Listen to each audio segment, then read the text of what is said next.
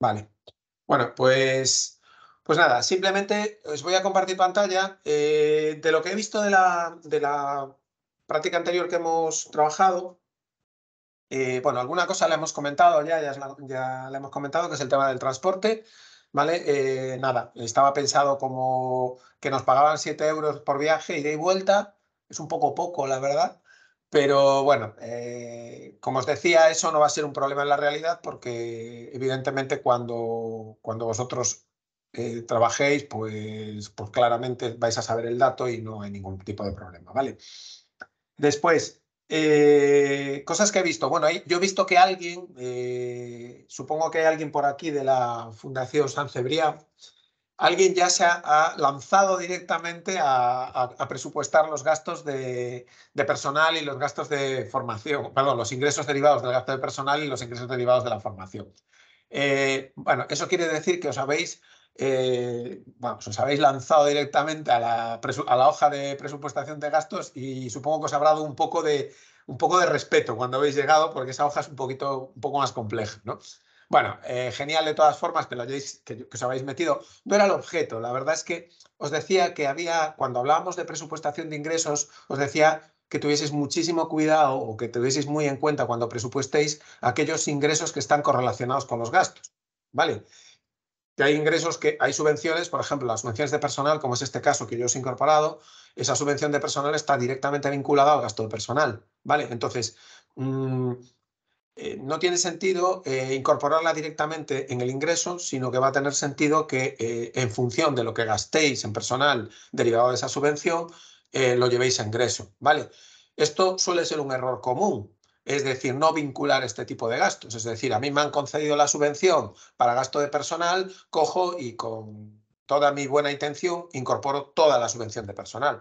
Ah, pero resulta que esa persona pues resulta que en el mes de abril se me ha dado de baja o me ha pedido la baja voluntaria porque no le gustaba, porque, no, porque le salió una oportunidad laboral mejor, me ha pedido la baja laboral y yo resulta que ya no he podido sustituir ese puesto de trabajo. ¿no? Entonces, ¿qué va a pasar? Pues que evidentemente em, toda esa subvención que yo tenía como subvención de gasto de personal, como no la puedo justificar, pues evidentemente no va a ser subvención y por tanto eh, tengo que quitármela del ingreso. ¿no? Entonces, esto es un error que suele ser común cuando no, somos, cuando no enganchamos los ingresos con, eh, con, los gastos asociados en el caso de, de, que las financiaciones estén vinculadas. ¿vale?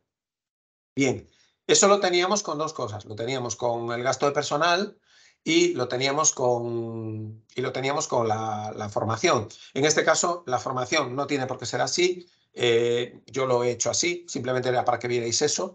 Eh, en este caso, el criterio de la asociación, en este caso de esta asociación, en este modelo, era que, eh, digamos que la formación que hacía la iba a vincular a la subvención que tenemos de la tripartita. ¿no? Entonces, en este caso, eh, pues entendíamos que toda la subvención que estábamos eh, impartiendo o que teníamos recogida como gasto, esa subvención, pues, o sea, perdón, ese gasto va a estar directamente relacionado con, eh, en este caso, la subvención de la, de la, tripartita. ¿Vale? Sabéis que esto no tiene por qué ser exactamente así, porque no nos tienen por qué subvencionar el 100% del gasto, ¿vale? Y, y, puede ser que yo tenga más formación de, la que, de la que puedo subvencionar. Entonces, no necesariamente esto tiene que estar directamente vinculado, pero que sí que tiene cierta vinculación en cuanto a que eh, yo voy a poder aprovechar esa subvención de la tripartita si realmente hago cursos bonificados. Si no hago cursos bonificados, pues no la podré aprovechar, ¿vale? Entonces, simplemente de este caso quería deciros eso. Eh, ojo con la vinculación a los, a los, los gastos que son vinculados, ¿vale? Entonces, el, Fundación San Cebrián, que os lanzasteis directamente, bueno, pues nada, relajaros, eh, eliminad la parte de gasto de personal porque la vais, a, tener que incorporar ahora con el ejercicio que vamos a hacer ahora. Eh, mm, dejad eso, digamos, vinculado a ese gasto, que lo tendréis. Y, bueno, y en lo otro, simplemente comentaros, porque ahí en vuestro caso eh, sí que detecté algunas cosas, bueno, pues un poco raras. Eh, en toda la parte de ingresos, la parte de las cuentas 700, 705, eh, los ingresos del centro ocupacional van directos al centro ocupacional. Creo que los habéis distribuido, no los distribuíais. El, el, objetivo era más sencillo, era que, eh, digamos, esta parte, y os enseño la resolución, ¿vale? Voy a compartir pantalla.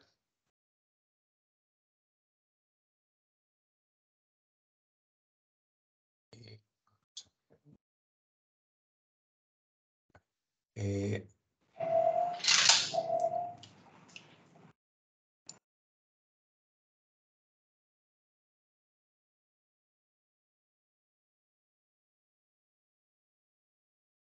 Vale. Eh, si os fijáis aquí en la...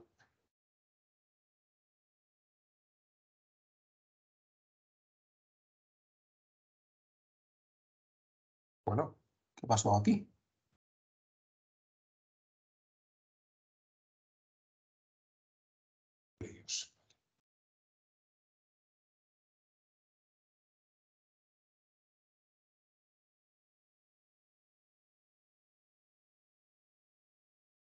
Esperad un segundo, que tengo aquí un...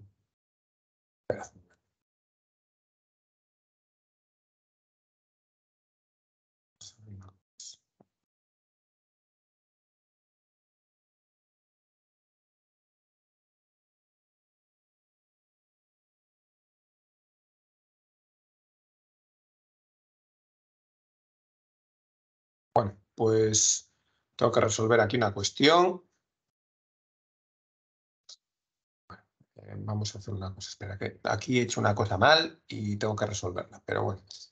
Eh,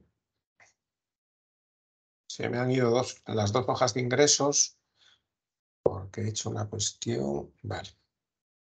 Esperad un momento.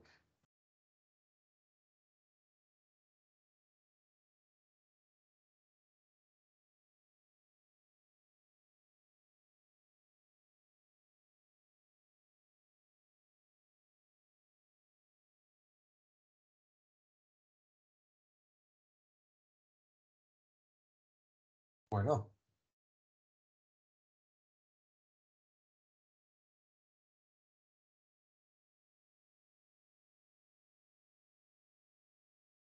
Vale, vamos a ver.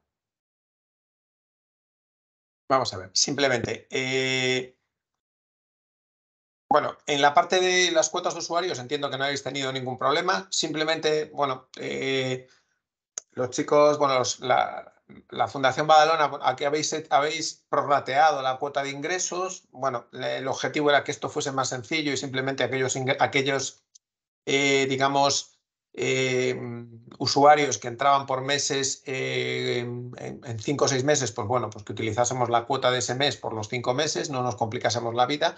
Habéis hecho ahí una pequeña prorrata para distribuir ingresos, ¿vale? Pero bueno, eh, no, hay ningún problema, la diferencia es muy pequeña, pero bueno, si podéis eh, llevarlo a, esta parte, a, digamos a recoger la cuota de ingreso como, como tal. Y eh, simplemente os decía, en la parte esta de, 700, aquí lo que pretendíamos era que fuese mucho más sencillo. los ingresos por la venta, de, en este caso, de, los productos de cerámica y hortícolas y, por, y, las, y las prestaciones de servicios son, en este caso, son un ingreso directo, ¿vale? Son un ingreso del centro ocupacional y bueno, pues en este caso lo que optábamos era por no, o sea, la opción era no distribuir porque era un ingreso directo de este centro, ¿vale? Eh, en vuestro caso, en San Cebián, ¿por qué lo distribuisteis? ¿Cuál fue el criterio? O sea, ¿por qué lo, lo hicisteis así?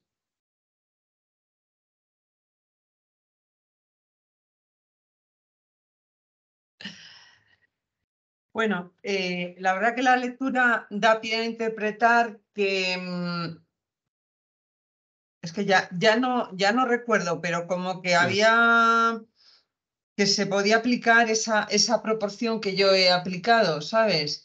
Pero ah, este porcentaje está en función de, eh, de usuarios. de usuarios, sí, sí, sí. Lo apliqué en función de, de los usuarios. Entonces, bueno, pues sí, lo que dices tú, que son ingresos directos al ocupacional porque es el que realiza el trabajo, ¿no? Bueno, yo, mm. yo, apliqué ese otro criterio en función de, usuarios, ¿no? Porque entiendo que, bueno, por los de pisos pueden ir a un centro ocupacional. Vale, es, una cuestión de interpretación, nada más. Sí, o sea, lo que os decía, que esto no, el bien y el mal aquí no está, no es absoluto. Es decir, evidentemente esto en la realidad lo vas a tener, lo, tendrás muy claro. Eh, bueno, en este caso lo que habíamos planteado es que, bueno, esto eran, eran talleres del centro ocupacional y por tanto, bueno, pues entendíamos que, eh, que los ingresos que, que, teníamos eran del centro ocupacional. Intenté, de hecho, poner, de hecho, los intenté meter aquí como ingresos ya directos del, del centro ocupacional.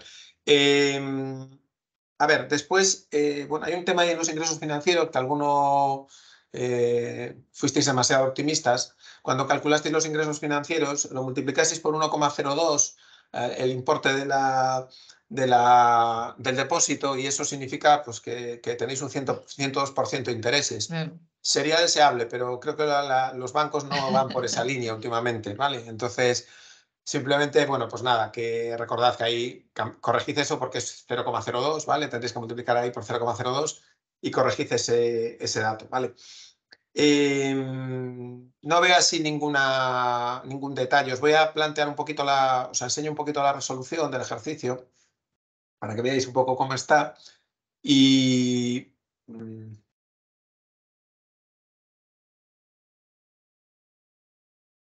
Y bueno, como veis, las cuotas, la idea, y, es la idea que os voy a trasladar también para los gastos, ¿vale? Es que al final copiéis, digamos, la tabla que yo os doy y en cierta medida la incorporéis aquí para que no tengáis que estar picando datos, ¿vale?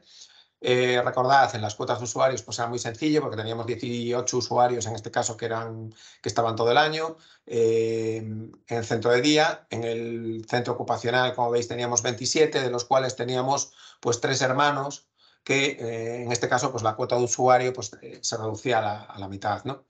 Eh, no así la cuota de la administración. Y después teníamos aquí un cierto matiz con respecto a los usuarios que se incorporaban o se daban de baja. ¿vale? fijaros que hay una filosofía en todo el modelo presupuestario y es que, mmm, fijaros que sí que estamos utilizando datos históricos, ¿vale? Os recordad que uno de los criterios para incorporar eh, digamos, los datos presupuestarios era el dato histórico, pero fijaros que realmente estamos casi presupuestando ad hoc. ¿Vale? Es decir, estamos yéndonos a, a, cada centro de coste y aunque sí que estamos teniendo en cuenta la información histórica respecto a las cuotas, a quién se queda o a quién no se queda, sí que estamos bien, yendo al detalle de lo que esperamos o de lo que creemos que va a suceder en el ejercicio. ¿Vale? Entonces, estamos utilizando más un criterio aunque utilicemos datos históricos, estamos utilizando más una previsión eh, en función de los datos. ¿vale? Eh, esto podría ser muy fácil o mucho más fácil a la hora de hacer un presupuesto. Yo puedo coger el dato de ingreso de cuotas de usuarios del centro ocupacional, me cojo el dato del año pasado y digo, ¿este año voy a subir las cuotas? Sí, vale, pues eh, le subo, le meto aquí, veis que hay una casilla aquí arriba que pone IPC, ¿vale? Si yo estoy valorando o en función de lo que me salga del presupuesto, pues resulta que mis, mis ingresos no cubren mis gastos y, y, tengo que plantearme hacer una subida de cuotas, pues me puedo ir aquí. ¿vale? Fijaros que el modelo está pensado para que la cuota de usuario, que es la que tenemos en estos momentos, si yo decido hacer una subida de cuotas, si yo aquí automáticamente, imaginaros que pongo que voy a subir un 2% las cuotas, automáticamente el modelo me cambia, ¿vale? Y de pronto todas mis cuotas van a subir ese 2%. ¿vale? Esto es súper interesante para jugar con, escenarios. ¿vale? Si yo tengo que estar valorando cómo tengo que equilibrar mis cuentas y cómo tengo que hacer para que, eh, bueno, pues para que mi presupuesto cuadre y, no, y no entre en pérdidas o no presente un presupuesto en pérdidas y me presente delante de mi asamblea o mi junta directiva o mi patronato justificando una subida de cuotas, fijaros que jugar con estos escenarios pues es muy interesante. ¿vale? Entonces, os queda en el modelo, eh, aquí no lo hemos utilizado, pero bueno, podréis utilizarlo al final, en el sentido de veamos, veamos al final cuando cerremos el presupuesto, veamos lo que nos queda, veamos lo que queremos hacer y veamos si eso necesariamente va a tener que hacer que los, que los usuarios contribuyan un poco más o no. Eso ya lo decidiremos. ¿vale? Pero que veáis que el presupuesto deja abierta esta posibilidad. ¿vale? Esto es lo que quería comentaros un poquito con los ingresos, porque el resto, pues bueno, es simplemente recoger las situaciones un poco de entrada y salida que, que yo os he comentado y que como veis el objetivo era que aunque trabajemos datos históricos, lo hagamos ad hoc. Eh, yendo un poquito más allá con esto, si nos vamos a una presupuestación descentralizada, es decir, si al final yo decido que esto me lo voy a llevar a los distintos centros de coste y voy a asignar responsabilidades a la hora de elaborar el presupuesto, Fijaros que un trabajo en este estilo me permite una, un trabajo, eh, una agenda presupuestaria mucho más cómoda. Fijaros que yo aquí, yo puedo darle a mi responsable o a la persona que pueda trabajar en el centro de coste concreto, le puedo dar toda esta información y le puedo decir, mira, estos son los datos que tengo del año pasado. ¿Vale? valora cuántos usuarios va a haber, si es que él tiene capacidad e información para tener eso, valora las posibles entradas, valora si tenemos, eh, eh, digamos, usuarios en cartera de tu centro que sí que puedan eh, entrar. Bueno, es decir, con esto le podemos dar, le damos información para que pueda, mm, digamos, aportarnos cosas nuevas a la hora de trabajar la gestión presupuestaria. ¿Vale? Esta hoja no tenía mucho más, simplemente lo que quería era trasladaros esas situaciones que creo que son interesantes a la hora de presupuestar. Y la hoja de ingresos, como veis, eh, en el modelo, la hoja de ingresos 2 lo que está volcando es a las cuotas de usuarios. Supongo que en cuanto cubristeis esto, automáticamente os salió cubierto esto, ¿vale? Eh, Evidentemente puedo tener tantas hojas, fijaros que aquí simplemente hay una hoja, digamos, eh, matriz de ingresos, donde vuelco todos mis ingresos y en este caso tengo una hoja de ingresos auxiliar, que es la que se refiere a las cuotas de usuarios. Podría perfectamente aquí, en vez de llamarle anexo ingresos 2, podría llamarle ingresos cuotas de usuarios, porque realmente es lo que estoy trabajando en ese, en ese, en ese anexo de ingresos 2. ¿no? Pero podría tener otra hoja distinta que enganchase otro tipo de ingresos que están volcados aquí. Es decir, el modelo os permite, o lo que, os permite es que podáis desde aquí eh, mm, incorporar tantas eh, hojas eh, auxiliares como necesitéis para que este, mm, esta hoja resumen, por decirlo así, pues, pues en el caso de que necesitamos mucha más amplitud de datos, los podamos trabajar en, hojas auxiliares. Esas hojas auxiliares en un momento dado pueden ser las que le deis a la gente que colabora con vosotros trabajando en el presupuesto. ¿Vale? Y, sea, y lo que os reporten de vuelta y vosotros lo que hagáis sea incorporar esas hojas auxiliares eh, dentro del presupuesto general, ¿vale? Bien. Eh, después del resto, bueno, pues eh, los datos, en este caso, por no complicaros mucho más la vida, pues os he intentado que esos datos fuesen directos incorporados, entonces, bueno, pues aquí no necesitamos, bueno, lo que los datos que nos dan del ocupacional entran en el ocupacional, tanto en ventas como en prestaciones de servicio, las cuotas de socios, pues, pues creo que todos lo habéis hecho correctamente, no hay ningún problema, entonces, lo habéis entendido perfectamente. Las cuotas de usuarios, nos quedaba el tema del transporte, que lo hemos comentado en su momento, ¿vale? Entonces, no hay mucho más que añadir. En este caso, eh, fijaros que hemos jugado con una situación eh, que, por ejemplo, en los casos que yo conozco sí que se da, ¿vale? Es decir, eh, en Galicia, por ejemplo, el transporte sí se paga, pero se, se paga por uso efectivo también, igual que las plazas, ¿vale? Entonces, eh, bueno, si yo tengo, yo, yo tengo, y esto me va a pasar o me va a ser muy útil en el gasto de personal, si yo tengo claro más o menos cuál es mi porcentaje de absentismo, es decir, si yo sé que es verdad que tengo el transporte para todos, pero que realmente a lo largo del año, y tengo datos, pues normalmente el 10% de los viajes no se van a utilizar. ¿Por qué? Pues porque el usuario ese día no fue, porque está de vacaciones, porque perdió el autobús o, bueno, por lo que sea, eh, o no vino, pues yo sé que tengo un porcentaje, digamos, de, de ausencias, tengo un porcentaje de, de absentismo en el transporte, ¿vale? Entonces, puedo incorporar ese dato ¿vale? Puedo incorporar ese dato de absentismo. ¿Para qué? Para hacer este dato un poco más fiable, no simplemente coger y decir, bueno, pues tengo 35 alumnos a 240 días, pues venga, ya está el ingreso. Bueno, pero todos sabemos que, no, que no todos los días eh, va a haber, va, a estar, van a venir todos, ni todos los días, eh, pues bueno, voy a cobrar esa cuota. Esto es una forma, en cierta medida, de ajustar, digamos, estos ingresos que son genéricos, ¿vale? Bien, y después, la hoja de personal, yo aquí la tengo enganchada porque, porque ya la tengo enganchada al ingreso, ¿vale? Entonces, mm, no hay fallo, pero ves que eh, hay una parte que sí vais a, que sí incorporabais, que son las subvenciones directas que tiene la, en este caso la asociación, ¿vale? Eh, mm, yo entendí, o sea, o, quise trasladaros que cuando entendía ingresos para actividades asociativas eran para esa parte que no es prestación de servicios, pero bueno, dependerá de cada centro. Puede haber centros que, esa parte, digamos, de asociativa, de, de, reivindicación de la, de discapacidad de, la asociación, pues esté más diluida y sean prácticamente prestación de servicios y, y, digamos, puede no existir ese centro de coste como tal, ¿vale? Es decir, yo he visto casos o conozco casos donde el centro de coste asociación no es un centro de coste individual, sino que se distribuye en base a un criterio al, resto de los centros de coste, ¿vale? Perdemos la información respecto a esa actividad asociativa, si es muy pequeña, pues a lo mejor me compensa perderlo y diluirlo en el resto. Si es importante o quiero que sea importante, bueno, pues a lo mejor sí que tengo que diferenciar el centro de coste. ¿vale? Recordad, cuando hablamos de analítica, cuando hablamos de los centros de coste como elemento fundamental para la gestión presupuestaria, recordad que decidíamos, o sea, y teníamos que valorar eh, cuándo eh, generábamos o teníamos un centro de coste. Y cuándo íbamos a incorporar información específica a ese centro de coste. Y recordad que el elemento fundamental era la información útil para la toma de decisiones. Es decir, yo generaré un centro de costes si voy a tener estructurada mi organización en base a ese centro de coste. Y voy a tener información y voy a tomar decisiones y quiero saber cómo va ese centro de coste. ¿Vale? Si no es así, pues no nos liemos, no, no, no generemos centros de coste. ¿vale?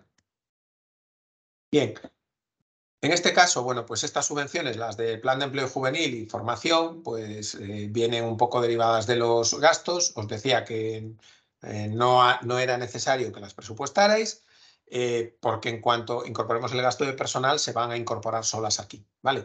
si os fijasteis en el modelo que tenéis, pues esto está vinculado a eh, pues a, una, a la hoja de, gasto de personal y entonces, pues bueno, no, no, tenemos que hacer nada. Veréis que simplemente lo que vamos a hacer es coger el importe del gasto de personal total y lo llevamos aquí eh, en el plan de empleo juvenil, ¿vale? Y en este caso lo distribuimos, evidentemente, el personal por dónde está ese personal. Pues como veis, un 50% estaba en cada uno de los centros de coste, en ocupacional y en, y en centro de día. Vale, bueno, y del resto de las cosas, pues poco más, porque eran datos para completar un poquito. Bueno, el tema del ingreso financiero, eso, que bueno, pues que, lo bajéis un poquito porque no, no, nos van a dar tanto, ¿vale? Eh, 2%, 1%. Entonces, respecto al presupuesto de ingresos, no tengo mucho más que comentaros. Sí, simplemente deciros que, fijaros, por ejemplo, el ingreso por venta de bienes sí que incorporaba los datos anteriores. Sí que es interesante cuando estemos presupuestando, aunque podamos trabajar o buscar ingreso ad hoc, sí que es importante en aquellos ingresos y gastos también que vienen de ejercicios anteriores, puede ser interesante, por ejemplo, yo imaginaros, yo estoy partiendo de la base de que estoy haciendo este presupuesto en octubre, ¿vale? Entonces, yo octubre, en noviembre, yo tengo los datos de mi contabilidad a octubre y tengo los datos del año anterior. Es decir, tengo una tendencia de por dónde van los tiros, ¿vale? Entonces, hay ingresos en los que la tendencia es importante, ¿vale? si yo estoy, en este caso, tengo un taller ocupacional en el que estoy vendiendo cosas, si no estoy haciendo cosas distintas, bueno, pues la, tendencia de cómo voy eh, de años anteriores puede ser útil para presupuestar este ingreso. En el caso de los usuarios, pues a lo mejor también me es útil, pero como veis, en los casos de los usuarios dependo más realmente de las variaciones reales que se produzcan en los usuarios que están en la entidad. Entonces, el dato histórico, hombre, es, mm, es un dato, pero no va a ser especialmente relevante. Voy a tener que meterme teóricamente a mm, saber exactamente cuántos usuarios tengo y, tengo y, saber exactamente los ingresos que estoy generando por esos usuarios. ¿Vale? Bien, dudas respecto a, esta parte, a la parte de ingresos. Cosas que os hayan surgido, sugerencias. Eh, veis que estamos combinando todo, estamos combinando datos históricos con proyecciones y tendríamos que incorporar, y estamos incorporando, en el caso de la asociación, por ejemplo, estamos incorporando eh, cosas nuevas, estamos incorporando, eh, en este caso, estrategia o planificación, es decir, cosas que tenemos previsto hacer el año que viene. ¿Vale? Esta combinación siempre es importante, histórico, proyección de datos, previsión y planificación. Cositas que os hayan surgido Sí, yo, eh, Ángel, eh, eh, sobre lo último que estás comentando, pues claramente lo entendí así, ¿sabes? Que, era, dijimos, si a octubre del año que estás, del, que estás elaborando el presupuesto, tienes, tienes ese, ese importe, pues bueno, pues sí que lo extrapolé a, lo que sería a, diciembre, ¿sabes? Bueno, que sí que tuve en cuenta, que entendí que estas notas que pones aquí de octubre 500, año anterior 1000, pues, pues sí que lo tuve en cuenta. Sí, esa es la idea. O sea, yo que, lo que intenté es daros el dato para, que no liar, para no liaros, más que nada para que tengamos un presupuesto todos homogéneo y podamos trabajar con los mismos datos, ¿vale? Ese era el objetivo, pero realmente eh, yo podía, podía, en la parte de, de las 700 y las 705, podía no daros el dato. O sea, podría decir, bueno, pues estos son los chicos, estos son los datos que tenemos del año anterior. Tenemos que ver si en cerámica, en productos hortícolas, vamos a hacer lo mismo o vamos a ver tres, abrir dos invernaderos más. Porque si abrimos dos invernaderos más, pues evidentemente algo, algo distinto voy a hacer, supongo, ¿no? Entonces, yo creo que con esto es con lo que tenemos que jugar, ¿no? Es decir, eh, la información histórica es interesante siempre que mantengamos la, el nivel de actividad y evidentemente tenemos que incorporar toda la previsión. Y en la previsión, claro, en la previsión es donde es muy potente la agenda presupuestaria y es donde es muy, muy, potente la previsión presupuestaria. ¿Por qué? Porque a lo mejor quien me puede decir más cosas sobre cómo va a ir la venta de productos hortícolas y cerámicas, igual es el, igual es el responsable del taller o, igual es el responsable del centro ocupacional. Porque a lo mejor sí que tiene algo que decirme, ¿no? De qué es lo que tiene previsto hacer. ¿Vale? Y al mismo tiempo, si yo le doy esa capacidad para poder decirme cosas, en cierta medida le estoy dando la capacidad y la responsabilidad. Me explico, le doy las dos cosas. Porque al final cuando me está diciendo, oye, no, yo creo que el año que viene, si abrimos el nuevo invernadero, vamos a plantar esto, vamos a hacer esto, es posible que en vez de 3.000, pues nos, pongamos en 5.000, bueno, pues en el fondo es él el que está, me está diciendo lo que espera de su actividad el año que viene, ¿vale? No se lo estoy trasladando yo, me lo está trasladando él, ¿vale? Entonces esta es la grandeza de, eh, de incorporar a más gente en la toma de decisiones.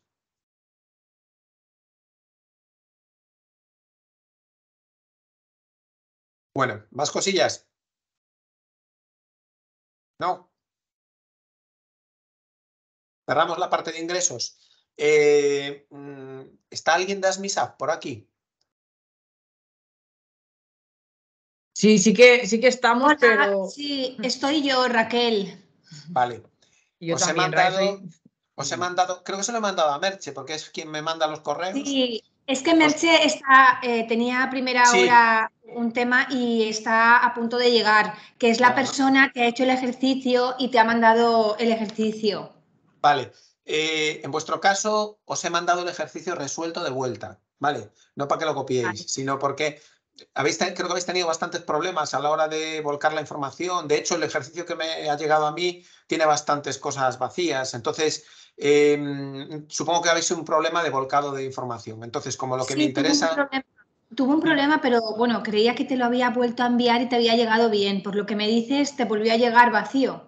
No, hay cosas que están vacías, hay algunas cosas en las que aparecen números, pero bueno, pues me es difícil saber de dónde salen los números, ¿vale? Entonces, eh, como lo que, como decía, como el objetivo de esto no es eh, aprobar o suspender, no es poner los números correctos o no ponerlos, sino que lo que es importante es que avancemos en el proceso de gestión, ¿vale?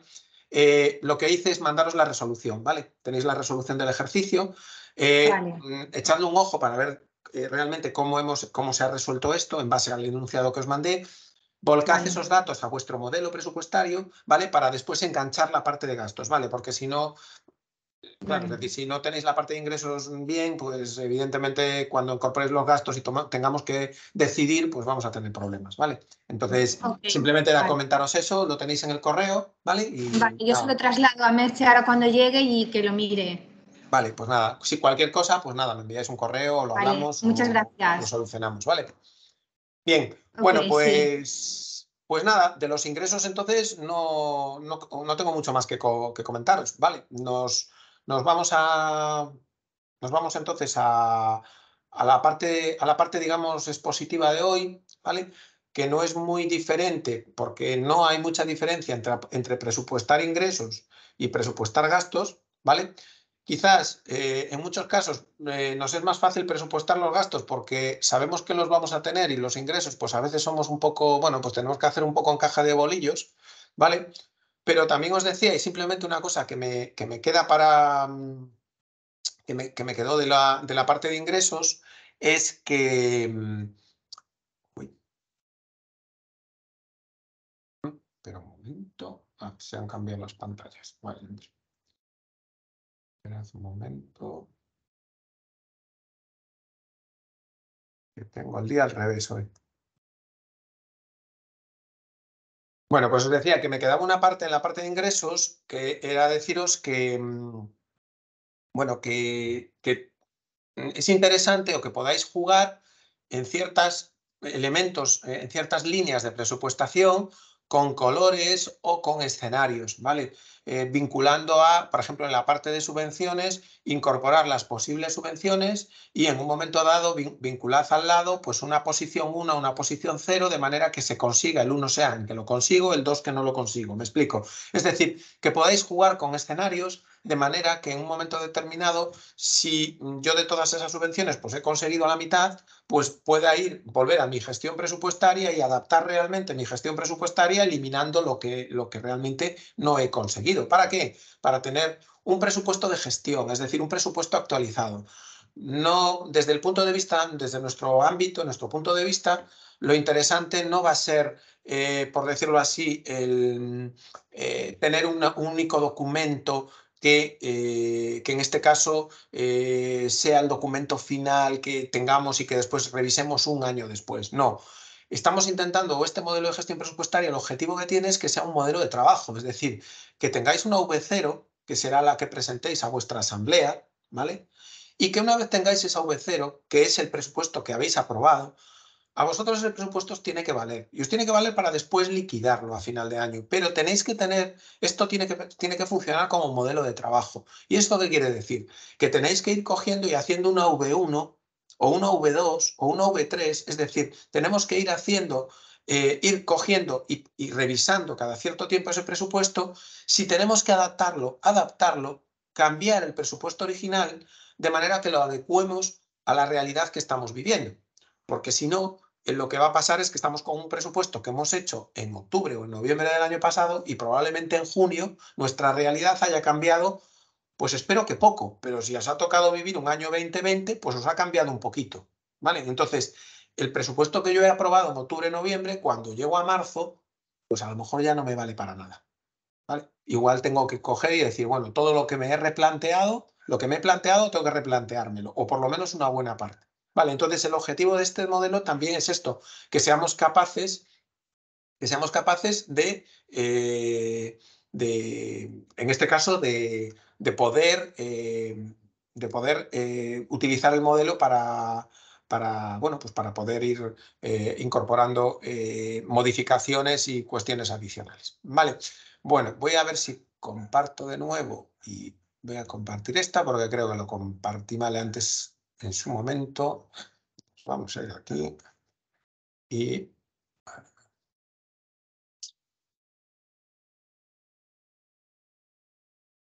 Vale, vale. Entiendo que ahora veis em, la presentación a pantalla completa, ¿no? Sí. Vale. Bueno, pues venga, vamos a hablar un poquito de cómo se presupuestan los gastos, ¿vale? Teniendo en cuenta lo que os decía, que hay muchas cosas eh, muchos criterios de presupuestación que nos valen tanto para los ingresos como para los gastos. Entonces, eh, lo que os voy a dar hoy, lo que os voy a explicar hoy, en, digamos, en parte teórica, es bastante ligero porque muchas cosas es tomar lo que cogimos para los ingresos y llevarlo a los gastos y sí que nos vamos a centrar en ciertos tipos de gastos que requieren especial atención. ¿Vale? Entonces, lo que vamos a ver es esto, ¿no? Es decir, cómo detectamos y clasificamos los gastos, ¿vale?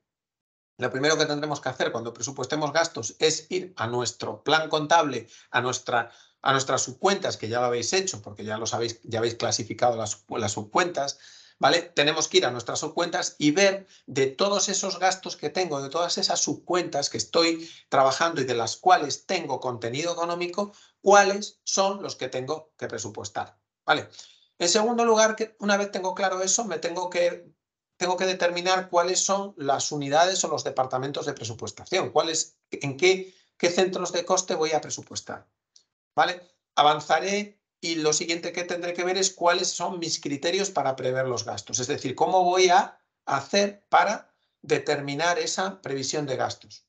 Y por último os comentaré, en este, al hilo del punto anterior, os comentaré unos casos especiales importantes que creo que, es necesario que, entremos en profundidad porque suponen probablemente entre los dos un 70 o un 80% del volumen de vuestro gasto. ¿vale? Entonces, vamos con lo primero.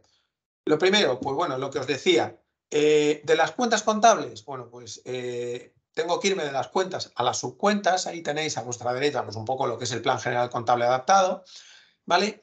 Em, a partir de ahí, ¿qué me voy? Me voy a las subcuentas y ¿qué voy a ver? Pues aquellas que tienen saldo, que tienen movimiento o que tienen un movimiento relevante, ¿vale? Porque a lo mejor pues resulta que tengo eh, un presupuestado eh, los gastos eh, financieros, los servicios bancarios y similares, pero resulta que tengo un convenio con la entidad financiera y resulta que no me cobran absolutamente nada, o tengo tres cosillas a lo largo del año y resulta que eso son 30 euros. Bueno, pues, pues eso no lo presupuestemos, o sea, no, no perdamos el tiempo, no gastemos energías presupuestando partidas que son absolutamente irrelevantes. ¿Vale?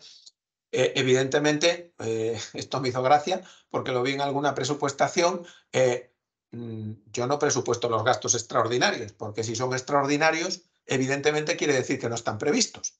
Entonces, claro, yo lo vi en algún presupuesto y lo, pregunté directamente. dije yo, mira, ¿y esto, esto de presupuestar los gastos extraordinarios, mm, me lo puedes explicar un poco, que no lo pillo? Me dice, no, no, es que, claro, yo aparte de presupuestar todo lo que tal, siempre me dejo una bolsa y un saquito para lo que pueda pasar. Y digo yo, ah, vale, o sea que esto es el gasto extraordinario. Bien, pues perfecto. Eh, no nos va a valer de mucho, porque eso que pueda pasar estará en la 623, estará en la 624, estará en lo que sea, pero probablemente no estará en gastos extraordinarios. Por tanto, eh, mm, si queremos buscar el saquito, mejor el saquito lo distribuimos en las diferentes subcuentas, ¿vale? Eh, incorporamos las previsiones del saquito y, el saquito del gasto excepcional, pues mejor no lo, incorporamos, porque no nos va a dar mucha información y no nos va, desde el punto de vista de gestión, no nos va a aportar mucho. ¿vale? Entonces, ver cuál es el que presupuestar y cuáles no. Y después, tened en cuenta a nuestro amigo Pareto, que nos acompaña en la gestión presupuestaria en casi todos los sitios, y es que, recordad, que hay un 20% de las partidas que se llevan el 80% de nuestros gastos. Esas marcarlas en rojo.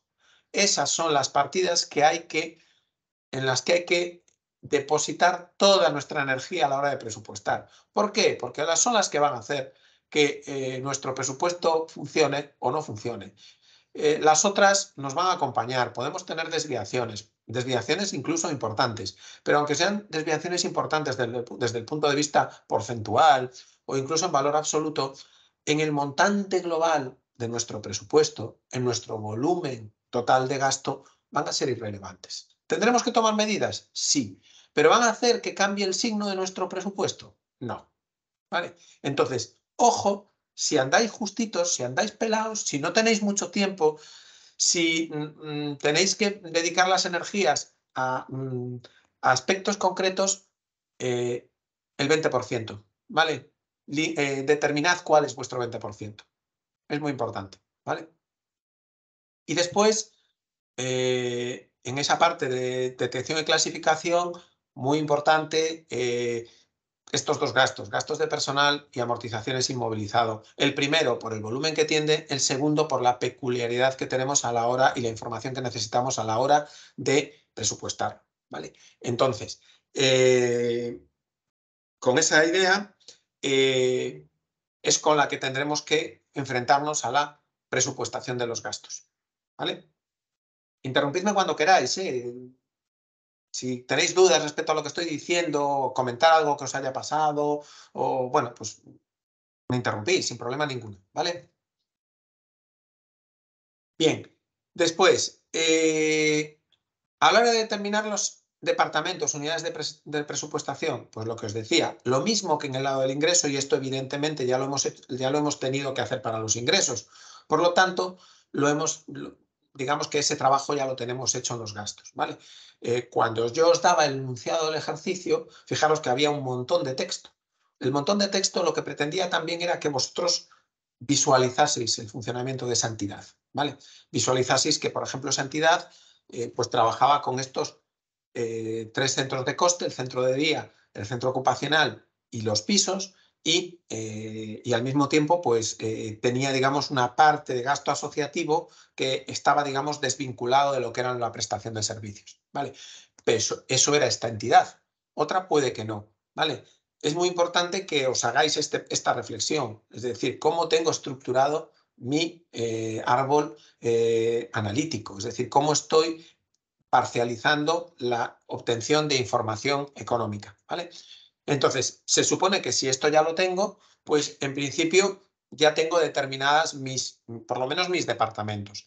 Y después tendré que ver, y eh, eso tiene que ver con el alcance de cada unidad, tendré que ver dentro de cada primera línea de presupuestación si esa línea es muy gorda y entonces no me da información suficiente y tengo que desglosarla y tengo que hacer presupuestación de dentro de ese departamento pues eh, de X proyectos o no, o realmente eso me vale para la toma de decisiones. Recordad, más desglose, más información, más tiempo de gestión.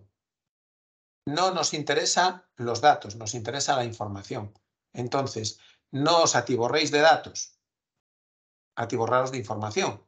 Si tengo que, si voy a obtener un dato del cual no voy a sacar nada, no lo necesito obtener. A veces nos sentimos seguros teniendo un montón de números. Eh, graso error. Lo importante es tener números que nos lleven a información. Si el número no me lleva a nada, olvidaros. ¿Vale? Esto es como la prenda de ropa. Si la he metido en el armario y después de un año no la uso, tiradla, que no la vais a usar más. ¿Vale? No hace falta que abréis el armario y digáis, uy, cuánta ropa tengo. No, no la usáis. Pues eso, lo mismo. Aquí es igual. Si tengo un dato y no lo uso, no me vale. Fuera. ¿Vale? Bien. A partir de aquí, eh, ¿qué va a pasar? Pues lo que nos pasaba en, el primer ejercicio que hicisteis, ¿no? Que me voy a encontrar con una tipología de gastos, directos, indirectos, eh, comunes, no comunes, bueno, pues todo esto. Es importante que tenga muy claro en cada partida de gasto y lo comentabais, al principio, cada partida de gasto tengo que saber qué naturaleza tiene. Si es un gasto común y lo tengo que distribuir, o es un gasto directo y no se distribuye, ¿vale? Eh, si es un gasto fijo, es un gasto variable y, y, depende del volumen de actividad. Esto es importante. ¿Por qué? Porque cuando determine cuáles son mis gastos comunes, ojo, porque voy a tener que establecer criterios de imputación. Es decir, voy a tener que decidir cómo reparto. ¿Vale? Esto es lo que también os habíamos, hemos hecho en el primer ejercicio. Es decir, cuando llego a gastos comunes, tengo que decidir cómo reparto. Y decidir cómo reparto consecuencias. Tiene la consecuencia inmediata de cómo voy a hacer el cálculo, pero tiene la consecuencia de que todas las personas de mi organización que estén gestionando información económica tienen que tener claro cuáles son los, los principios de distribución y de imputación de los gastos. Porque si no, lo que va a pasar es que cuando llega un gasto, si alguien no sabe cuál es su criterio de imputación, hará según entienda tiene que hacer. ¿Vale?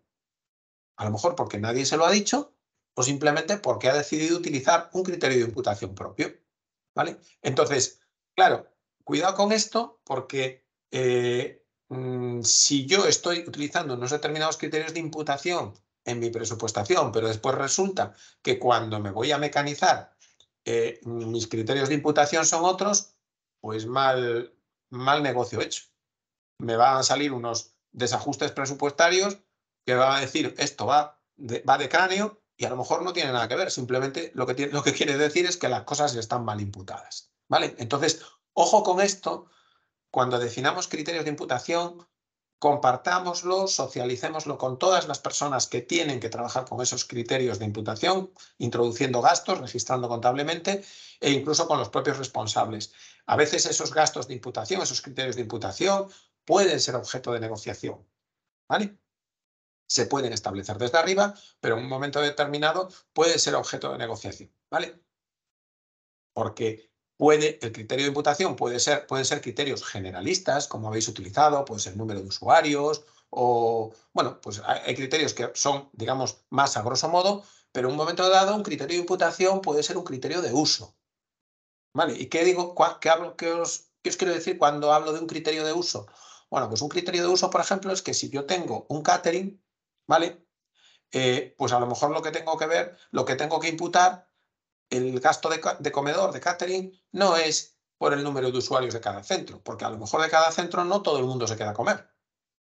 Entonces, lo tendré que eh, imputar por, el, por uso, ¿vale? Entonces lo tendré que utilizar por las personas que están utilizando el servicio de comedor en cada centro, ¿vale?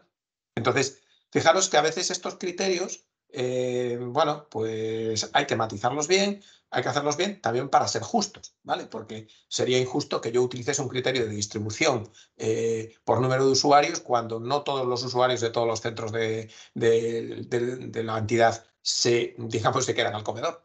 Le estoy imputando gasto a, a un centro de coste que no lo tiene. ¿vale? Bien. Y después, eh, si derivado de esta situación de definir las unidades de presupuestación os sale que tenemos responsables o centros de presupuestación distintos, donde van a tener capacidad para obtener esa información y trasladarnos información, pues nos meteríamos en esa agenda descentralizada o nos meteríamos en esa presupuestación descentralizada, donde tendremos que coordinar con los responsables de cada centro y tendremos que trasladarles la información necesaria para eh, que ellos puedan trabajar en su presupuesto. Tendríamos que tener, en, digamos, en la entidad una agenda de ejecución, es decir, tendremos que ponernos plazos para que cada uno tenga hechas sus tareas y confluyamos, ¿vale? Y negociemos, ¿vale? Negociemos esos presupuestos, ¿vale? ¿Por qué? Porque si negociamos un presupuesto y llegamos a un punto común, después es mucho más fácil la gestión del presupuesto. En el sentido de, si yo como responsable he trasladado mi presupuesto, lo he negociado y se ha aprobado, yo ya tengo como responsable mi modelo de gestión. Entonces, lo mismo que se me ha trasladado o se me ha podido trasladar la responsabilidad de la elaboración del presupuesto, también se me puede trasladar la elaboración de la gestión. Y esto es muy interesante para descargar de trabajo a los departamentos de administración de las entidades. ¿Por qué? Porque si yo no tengo que estar revisando y perfilando cada gasto que se ejecuta en un sitio o autorizándolo, sino que ya tengo un criterio, ya hay un presupuesto y el propio responsable tiene claro si ese gasto lo puede ejecutar o no puede ejecutar, pues evidentemente estoy trasladando la carga de gestión del presupuesto a los centros de coste y no me la estoy comiendo yo todo. ¿vale? Entonces, esto es, esto es importante. Al mismo tiempo, los centros de coste en un momento dado, gestionando sus presupuestos, pueden proponer cambios o modificaciones dentro de ese presupuesto, lo que también es un tema interesante para acomodar el presupuesto a la realidad de lo que está sucediendo. ¿Vale?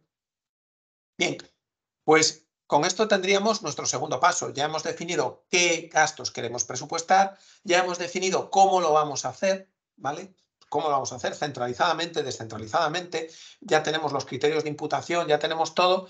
Y lo siguiente que tenemos que hacer es meternos al ajo, o sea, meternos a, hacer lo que tenemos que hacer, que es presupuestar, ¿vale? Y presupuestar es una actitud de previsión, ¿vale? Es decir, lo que vamos a hacer es prever lo que va a pasar. Y esa, esa previsión tiene tres características. Es voluntaria, es decir, estamos decidiendo que nosotros vamos a, estamos decidiendo que vamos a eh, mm, por iniciativa propia a proyectar o, digamos, a mm, establecer cuáles son esos gastos, ¿vale? Eh, eh, prever no, es decir, es un tema científico, es decir, lo vamos a hacer en base a unos datos y en base a unos criterios. Prever no es simplemente que alguien llegue y diga, pon 5.000. No, no, sea, pongo 5.000 en base a qué, ¿vale? Y por otro lado, lo que os decía, en un momento dado es una actitud colectiva, en el sentido de que no tiene por qué estar esto centralizado en una única persona. Es decir, hay mucha gente que puede entrar en la, en la previsión. ¿Vale?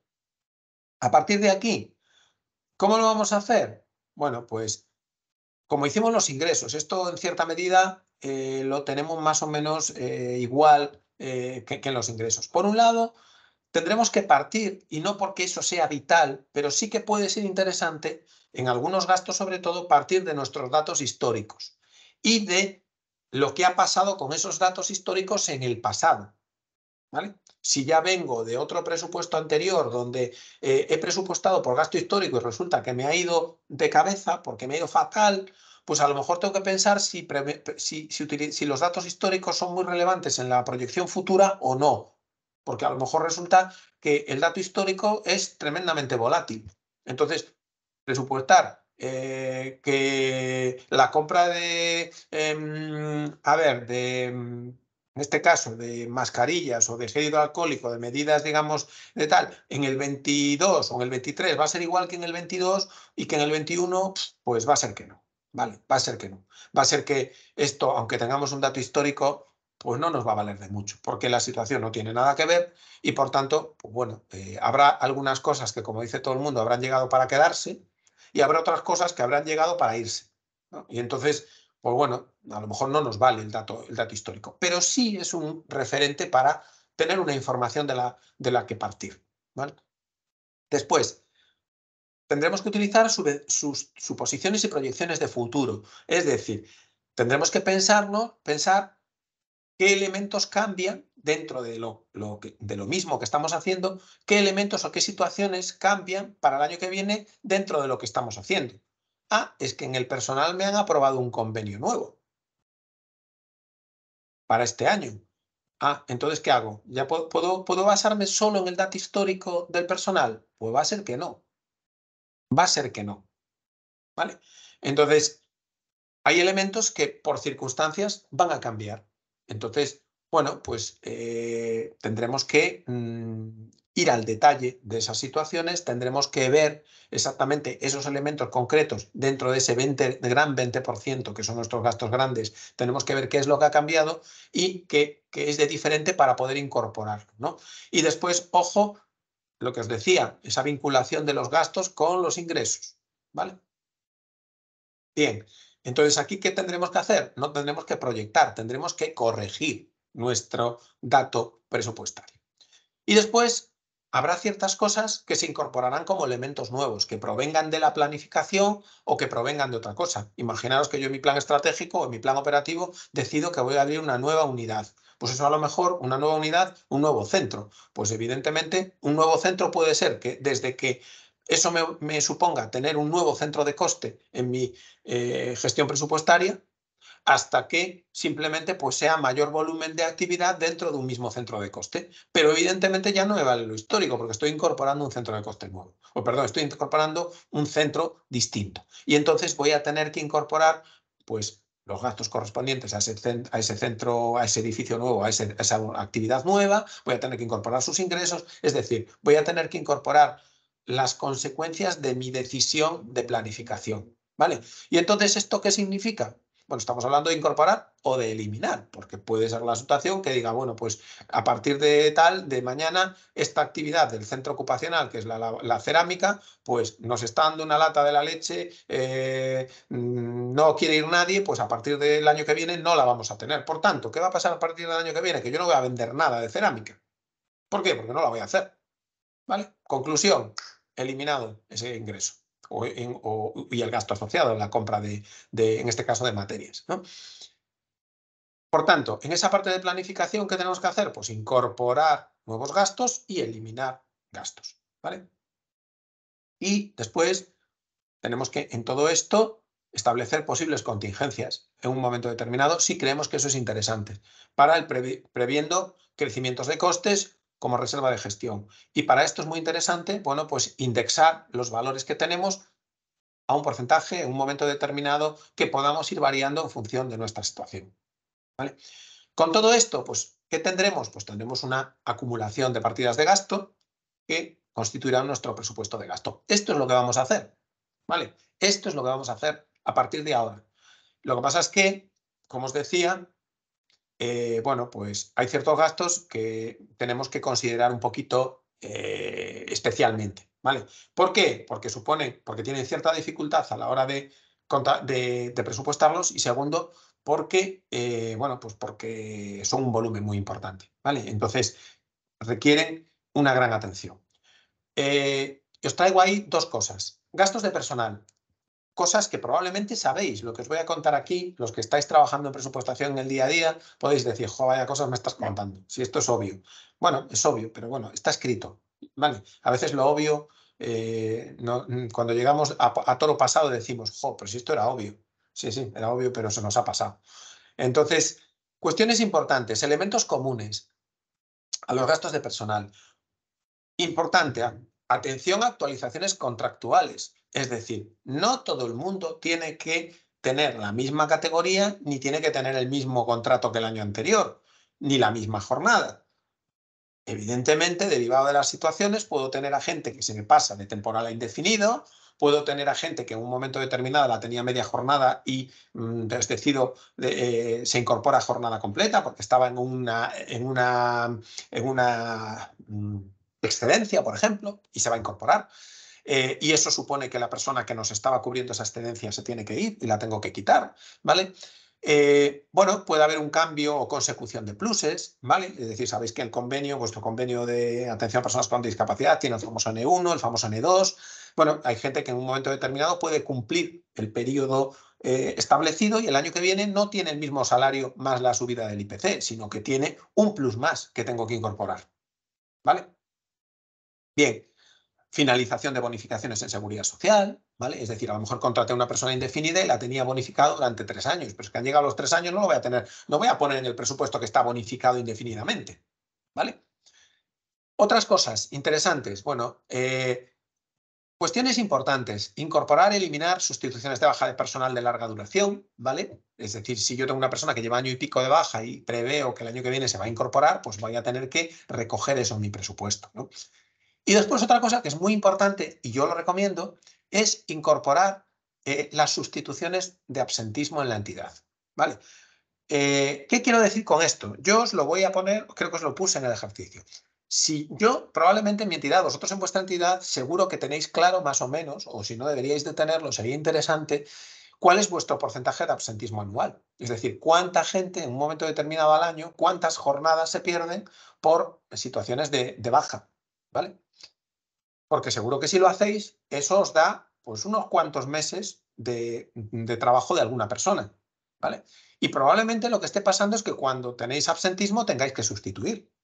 ¿vale? Porque en algún caso podéis apañar, pero en muchos casos es necesario sustituir.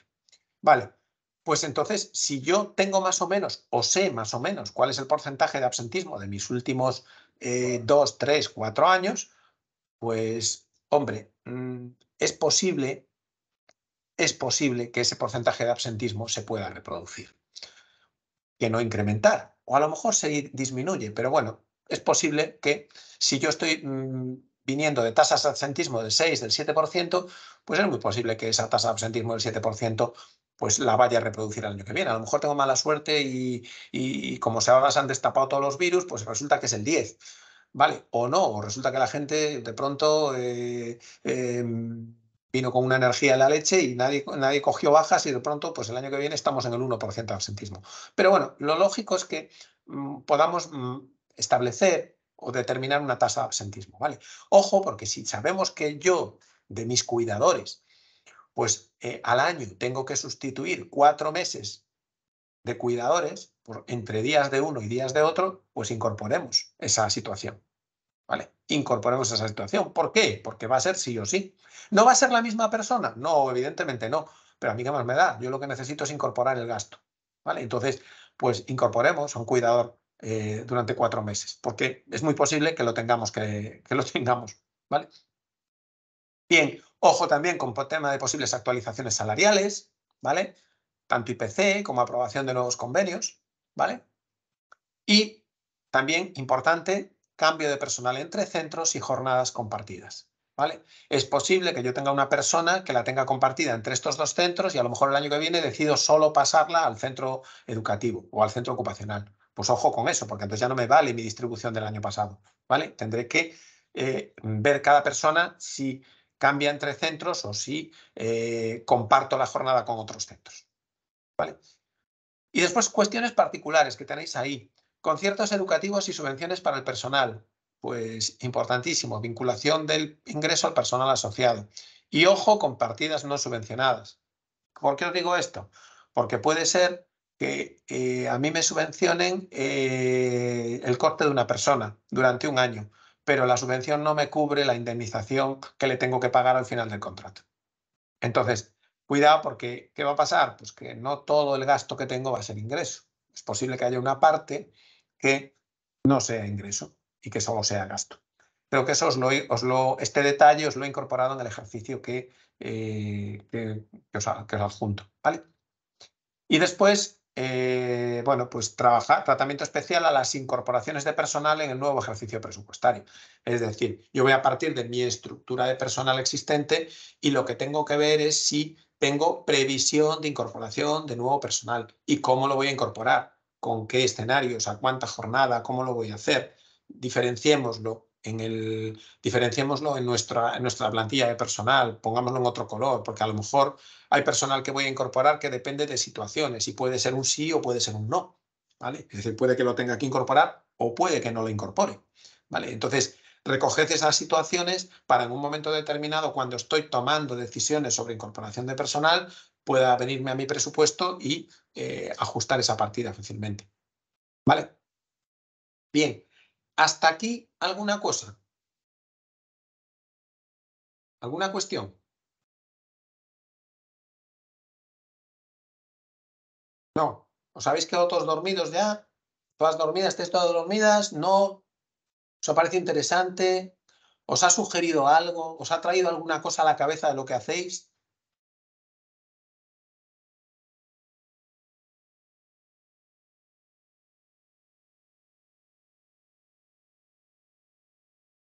Nada, no hay ninguna, ningún comentario. Bueno, espero que aunque no haya ningún comentario, pues muchas de estas cosas os hagan pensar. Que espero que sí, espero que sea eso, que estéis pensando, no dormidos. Vale. Venga, eh, avanzamos un poquito más. Os voy a dar la, os voy a comentar la última transparencia, que es eh, la parte de amortización y subvención de capital, ¿vale? Y después eh, voy, vamos a meternos directamente con el ejercicio porque este ejercicio no simplemente os lo voy a dar, sino que voy a entrar con vosotros y un poco os voy a comentar cuál es la dinámica de trabajo con el ejercicio, ¿vale? Para que no nos perdamos. ¿Vale? Entonces, em, a ver, amortizaciones de inmovilizado. Bueno, todos, espero que nadie, y por favor, si alguien no lo sabe, que no tenga miedo, que lo diga, que, que, pregunte, porque lo explicamos, porque así, aquí sí que es importante saber todos de lo que estamos hablando, ¿vale? Recordad que una de las cosas que tenemos, recordad que eh, lo mismo que tenemos gasto corriente, tenemos adquisiciones de, inmovilizado, tenemos inversión, ¿vale? Es decir, recordad, en el plan contable, inmovilizado es aquello que perdura más de la entidad, bien o ser bien, fundamentalmente, que perdura tangible o intangible, que perdura más en la entidad más de un ejercicio económico, ¿vale? Y por tanto, como perdura más de un ejercicio económico en la entidad, no lo podemos llevar a gasto de explotación, sino que lo tenemos que activar, ¿vale? Eh, entiendo que todo esto que estoy diciendo eh, lo entendéis, lo conocéis y, lo, lo, practicáis. Entonces, ¿qué es lo que nos pasa? Que yo voy a tener en mi balance de situación, en mi activo patrimonial, voy a tener una serie de elementos, de bienes que yo he adquirido a lo largo de la vida de mi entidad y que, eh, y que los tengo ahí, ¿vale? Y que el plan contable nos dice que para incorporarlos a nuestro ingreso, o no, perdón, a nuestro gasto del ejercicio para incorporarlos al, a tenerlos en cuenta en el cálculo de nuestro resultado, tenemos que utilizar un proceso que se llama, que, se denomina amortización. ¿Vale? Amortización no es más que de ese valor que tiene el bien, ¿vale? Cada año determinar un trocito de bien que vamos a considerar como gasto, como depreciación, ¿vale?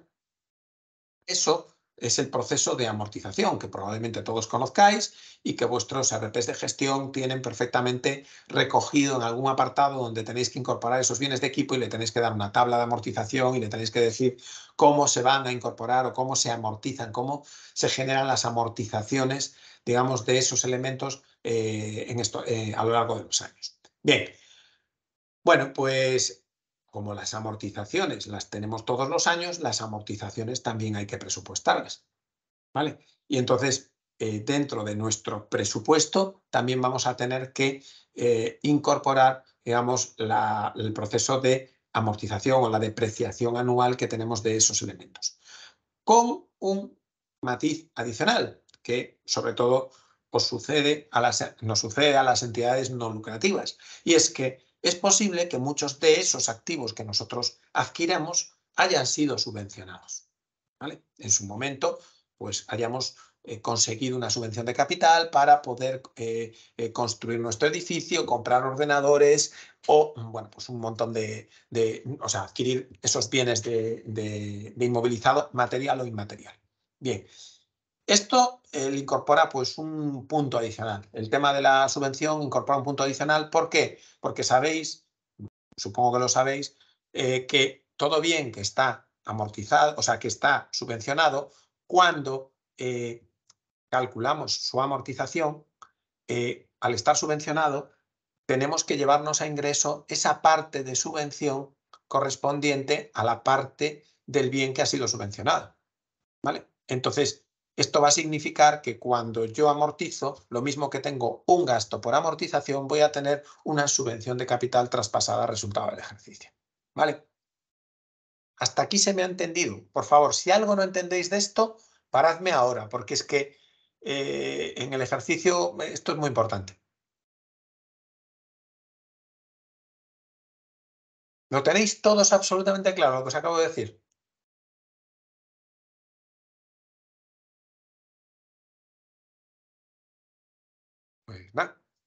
Un gustazo. Eh, seguimos. ¿Qué tenemos que hacer con las amortizaciones de inmovilizado? Bueno, pues en principio eh, tenemos que incorporar información básica de nuestro RP, ¿vale? De gestión contable para los elementos existentes. Y entonces tenemos que identificar nuestros eh, inventarios, ¿vale? Tenemos que identificar nuestros inventarios. Bien, esto cuando tenéis un RP de gestión lo tenéis facilito, porque el RP de gestión que tenéis, el programa de gestión contable, seguramente tiene un módulo de inmovilizado donde habéis tenido que ir registrando cada uno de vuestros bienes de equipo, donde habéis tenido que darle un porcentaje de amortización y donde todos los años, si tenéis un buen RP de gestión, tenéis un botoncito que diga generar amortizaciones. ¡Pum! Le dais y automáticamente todas las amortizaciones se generan y ya tenéis toda la amortización hecha. ¿Vale? Entonces, toda esa información está en nuestro RP de gestión. ¿Vale? Entonces, ¿qué tenemos que hacer? Pues tenemos que identificar en nuestro presupuesto pues esos elementos, esos eh, elementos de inventario que vamos a, utilizar, ¿vale?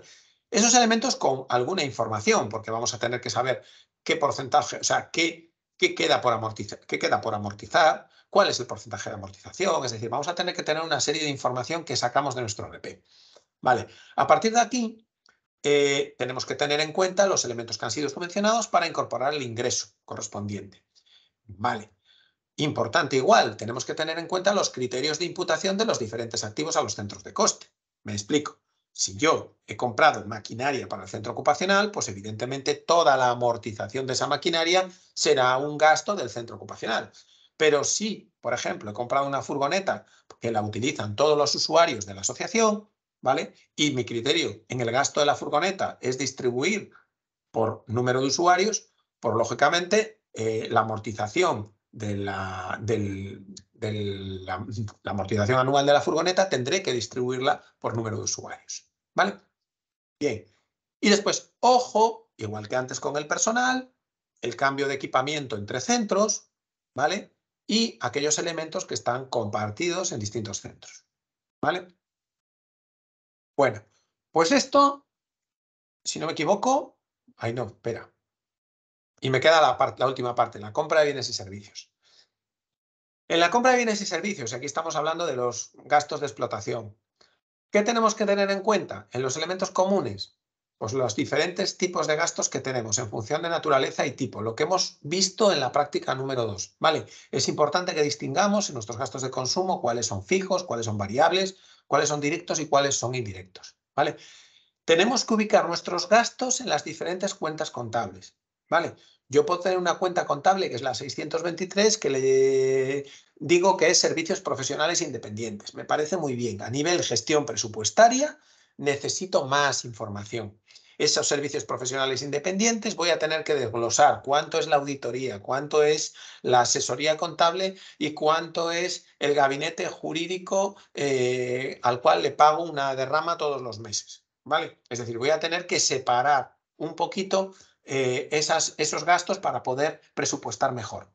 Bien, y después, ojo con los incrementos previstos para el ejercicio. Puede ser el IPC pero pueden ser subidas diferentes del IPC. seguro que os ha pasado este año y el año anterior, que de pronto llega un proveedor y os dice, no, no, este año es el 6% más. Y tú dices, ¿cómo? ¿Pero qué? Esto no es el IPC. No, no, no es el IPC. Es un 6% más porque ha habido cambio de costes de materias primas, ha habido no sé qué, pa, pa, y entonces pues os tengo que subir el 6%. Entonces, ojo con esto porque en los gastos sí que se tiende a utilizar o sí que se utiliza mucho más que en los ingresos el criterio histórico, es decir, el utilizar los datos históricos. Ojo, cuidado con esto porque eh, estamos en una situación donde el movimiento de los gastos no siempre va por, el histórico y no siempre va por el IPC, ¿vale? Bien, eh, cuando se actualizan datos históricos, cuidado con aquellos gastos en los que eh, mm, el año anterior no los he tenido todo el año, porque es un gasto nuevo, porque lo que sea. ¿Vale? Entonces, ojo, cuidado cuando, cuando estemos con los datos históricos, si ese dato histórico nos, nos da un gasto regular de todo el año, resulta que ese gasto lo he empezado a tener en junio, pero es que este año lo voy a tener todo el año. Entonces, cuidado con estas cosas. Cuidado con las anualizaciones que se llaman, ¿vale? Y en el caso de la presupuestación descentralizada, lo que hemos hablado de llevar a los centros de coste, tenemos que delimitar qué gastos de explotación son responsabilidad de los distintos centros de coste. Es decir, cuáles voy a pedirle al centro de coste que lo presupueste él. ¿Vale? Por ejemplo, el famoso taller de cerámica.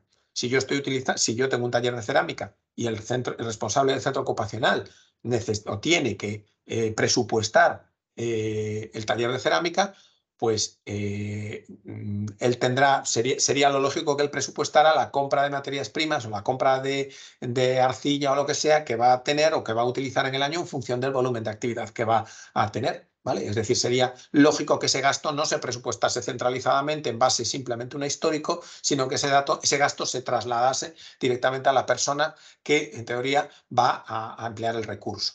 ¿vale? Bien, y después, simplemente como datos particulares aquí, los gastos directos de la actividad siempre se presupuestan ad hoc en criterios de, uso, en criterios de, consumo, ¿vale? Entonces, eh, aquí no podemos utilizar datos históricos. Si yo el año, el año pasado he hecho dos campamentos y el campamento ha sido en no sé dónde y he tenido unos gastos directos, este año cuando presupuesta el campamento tengo que presupuestar los gastos directos. ¿Vale? No puedo coger el dato del año pasado, primero porque no son los mismos usuarios, segundo porque no es el mismo sitio, tercero porque probablemente no voy a hacer las mismas actividades. Entonces, en estos proyectos o actividades que generan eh, movimiento específico, siempre tenemos que ir al presupuesto ad hoc, ¿vale? Siempre tenemos que proyectar, ¿vale? Y después, eh, en los gastos indirectos y de estructura, claro, lo mismo que antes, ojo con los criterios de imputación, ¿vale? Es decir, los gastos generales, ¿vale? Y diferencio gastos indirectos y gastos de estructura porque no son iguales, ¿vale? Eh, mm, en los gastos indirectos y de estructura tenemos que pararnos para ver cuáles son los criterios de imputación que estamos utilizando y tendremos que ser coherentes con los ingresos y con los otros tipos de gasto, ¿vale? Es decir, con el gasto de personal y con el otro tipo de gasto, Bueno, pues esto es un poco la parte, digamos, eh, de qué, tenemos que tener en cuenta para presupuestar los gastos, ¿vale? Por circunstancias de trabajo mías, de liada mía, de volumen y acumulación de cosas, pues eh, le he pasado ayer por la tarde tanto las prácticas que vamos a hacer como, como esta presentación que os acabo de hacer, se la acabo de pasar eh, a, Vanessa pues eh, ayer por la tarde. Entonces no sé si la tenéis colgada, pero supongo que si no, a lo largo del día de hoy esto lo tendréis, lo tendréis colgado, ¿vale? Entonces... Venga, dudas, cuestiones, sugerencias. ¿Qué os ha trasladado? Pues es todo esto que os he contado. ¿Lo hacéis así? ¿No lo hacéis así?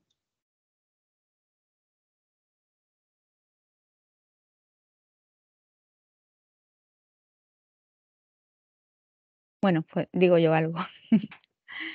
Pues sí, más, o menos, sí. Aquí concretamente se tienen mm, todos los gastos de explotación al detalle, o sea, se intenta bajar, como decía, eh, porque el gasto de auditoría, el gasto, todo lo que son los gastos así directos, más al detalle. Y, y, en fin, y luego los criterios de imputación, cuando tenemos las subvenciones, primero siempre como hemos dicho, hablándolo con el técnico, con el responsable, viendo el personal que se tiene que contratar de más para esa subvención, teniendo en cuenta, intentando tener en cuenta todos los gastos que va a llevar ese, ese proyecto y teniendo en cuenta también luego en la hora de, digamos, en el apartado de asociación, que de esa subvención, qué ingreso vamos a tener directo, lo que es la asociación. Vamos muy en la línea de, de lo que estamos viendo. Y por supuesto, pues teniendo en cuenta también todo lo de las subvenciones de capital, las amortizaciones, el porcentaje de, que, haya en el ejercicio de esa compra de, del, bien, pues llevarlo a, a, la 746. Y, en fin, que sí que vamos en la línea. Únicamente que sí, vamos a aprender mucho porque, claro, aquí son tres centros, son mm, imputaciones distintas. La verdad que sí, a mí me parece muy interesante todo lo que estamos viendo tenéis un matiz aquí. En vuestro caso es que, a ver, en vuestro caso sois una federación. Entonces, vosotros tenéis un matiz muy importante y es que vosotros funcionáis mucho por proyectos. Mm. Entonces, vosotros, esa última parte que yo os comentaba de la, de la presupuestación ad hoc, ¿vale? Mm. En función de cada proyecto, en vuestro caso, cada año eh, por decirlo así, eh, empezáis de, cero, ¿no? Con proyectos nuevos. Por tanto, en vuestro caso es impepinable. Vosotros aparte tenéis un condicionante que es la justificación de la subvención, ¿vale? Que muchas veces se nos mete dentro de lo que es la gestión presupuestaria. Entonces, bueno, eh, claro, en vuestro caso es un caso particular. Eh, sí que es interesante porque vosotros evidentemente tenéis una estructura, ¿vale? Sí que hay una estructura que, que, está ahí independientemente de que haya muchas o pocas subvenciones, ¿vale?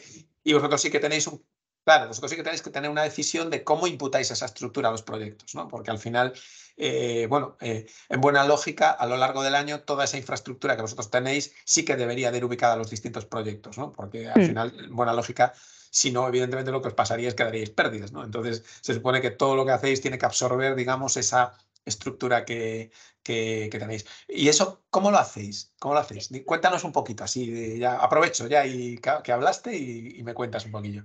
A ver, aquí participamos en el proyecto tanto administración como yo contabilidad.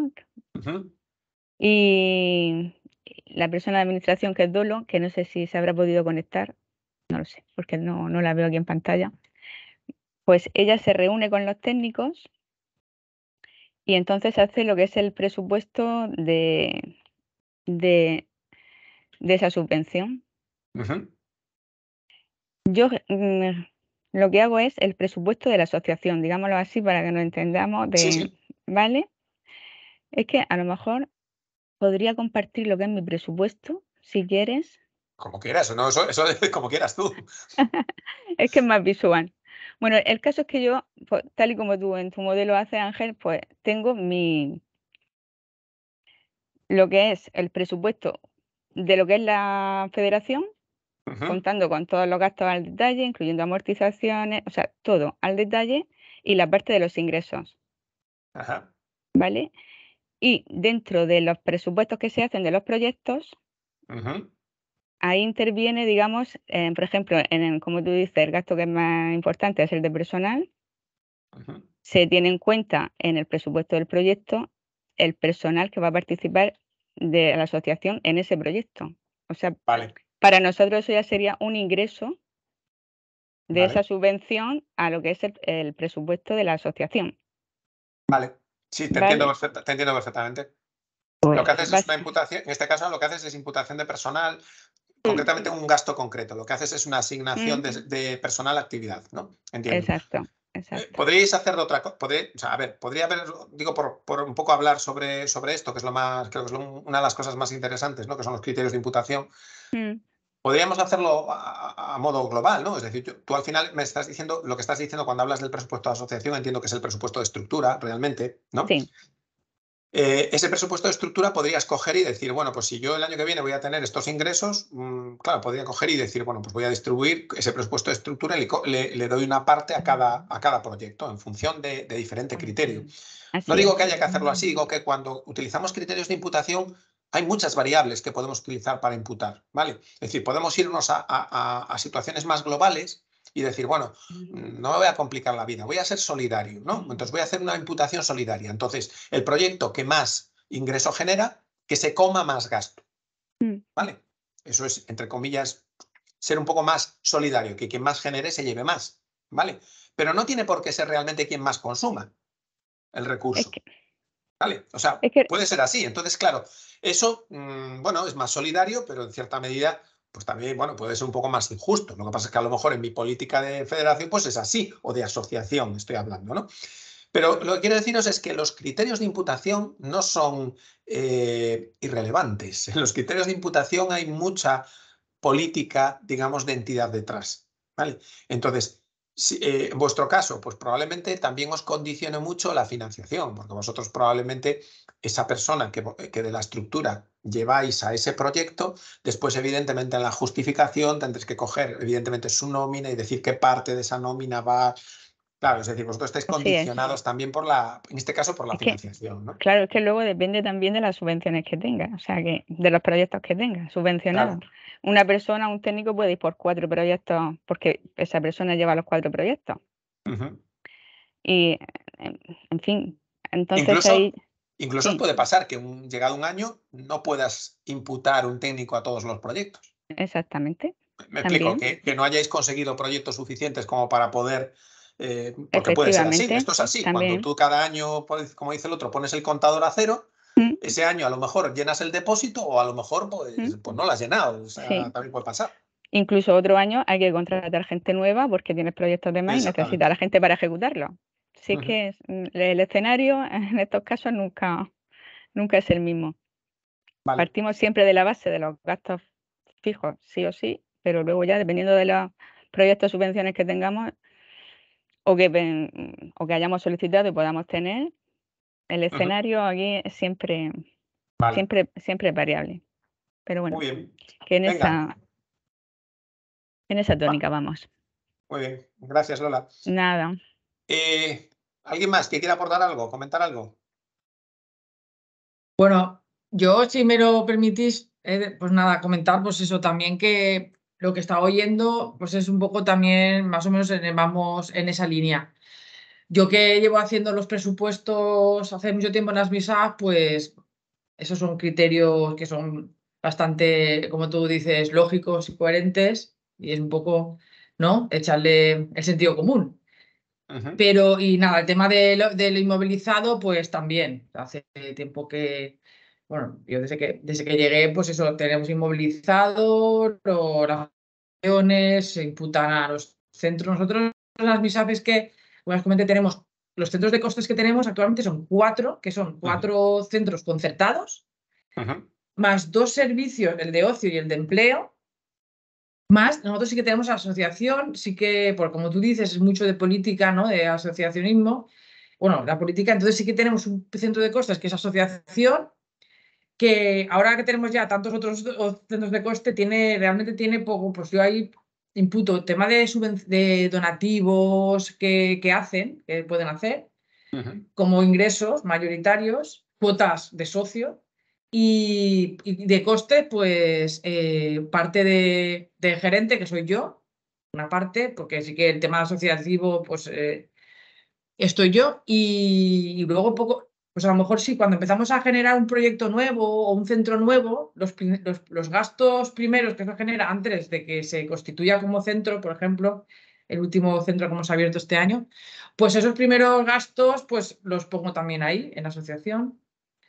Y un poco todo lo que has dicho pues es lo que yo intento plasmar, lo que nosotros, como ya comenté, no hacemos es que yo el presupuesto lo hago pues ahora, y, es lo que tengo que cambiar. El presupuesto del 23 lo, estamos lo voy a presentar en la asamblea la semana que viene y lo que tenemos que hacer es empezar a hacerlo pues en, en octubre, que es lo que yo con mis compañeras quiero implantar porque es fundamental.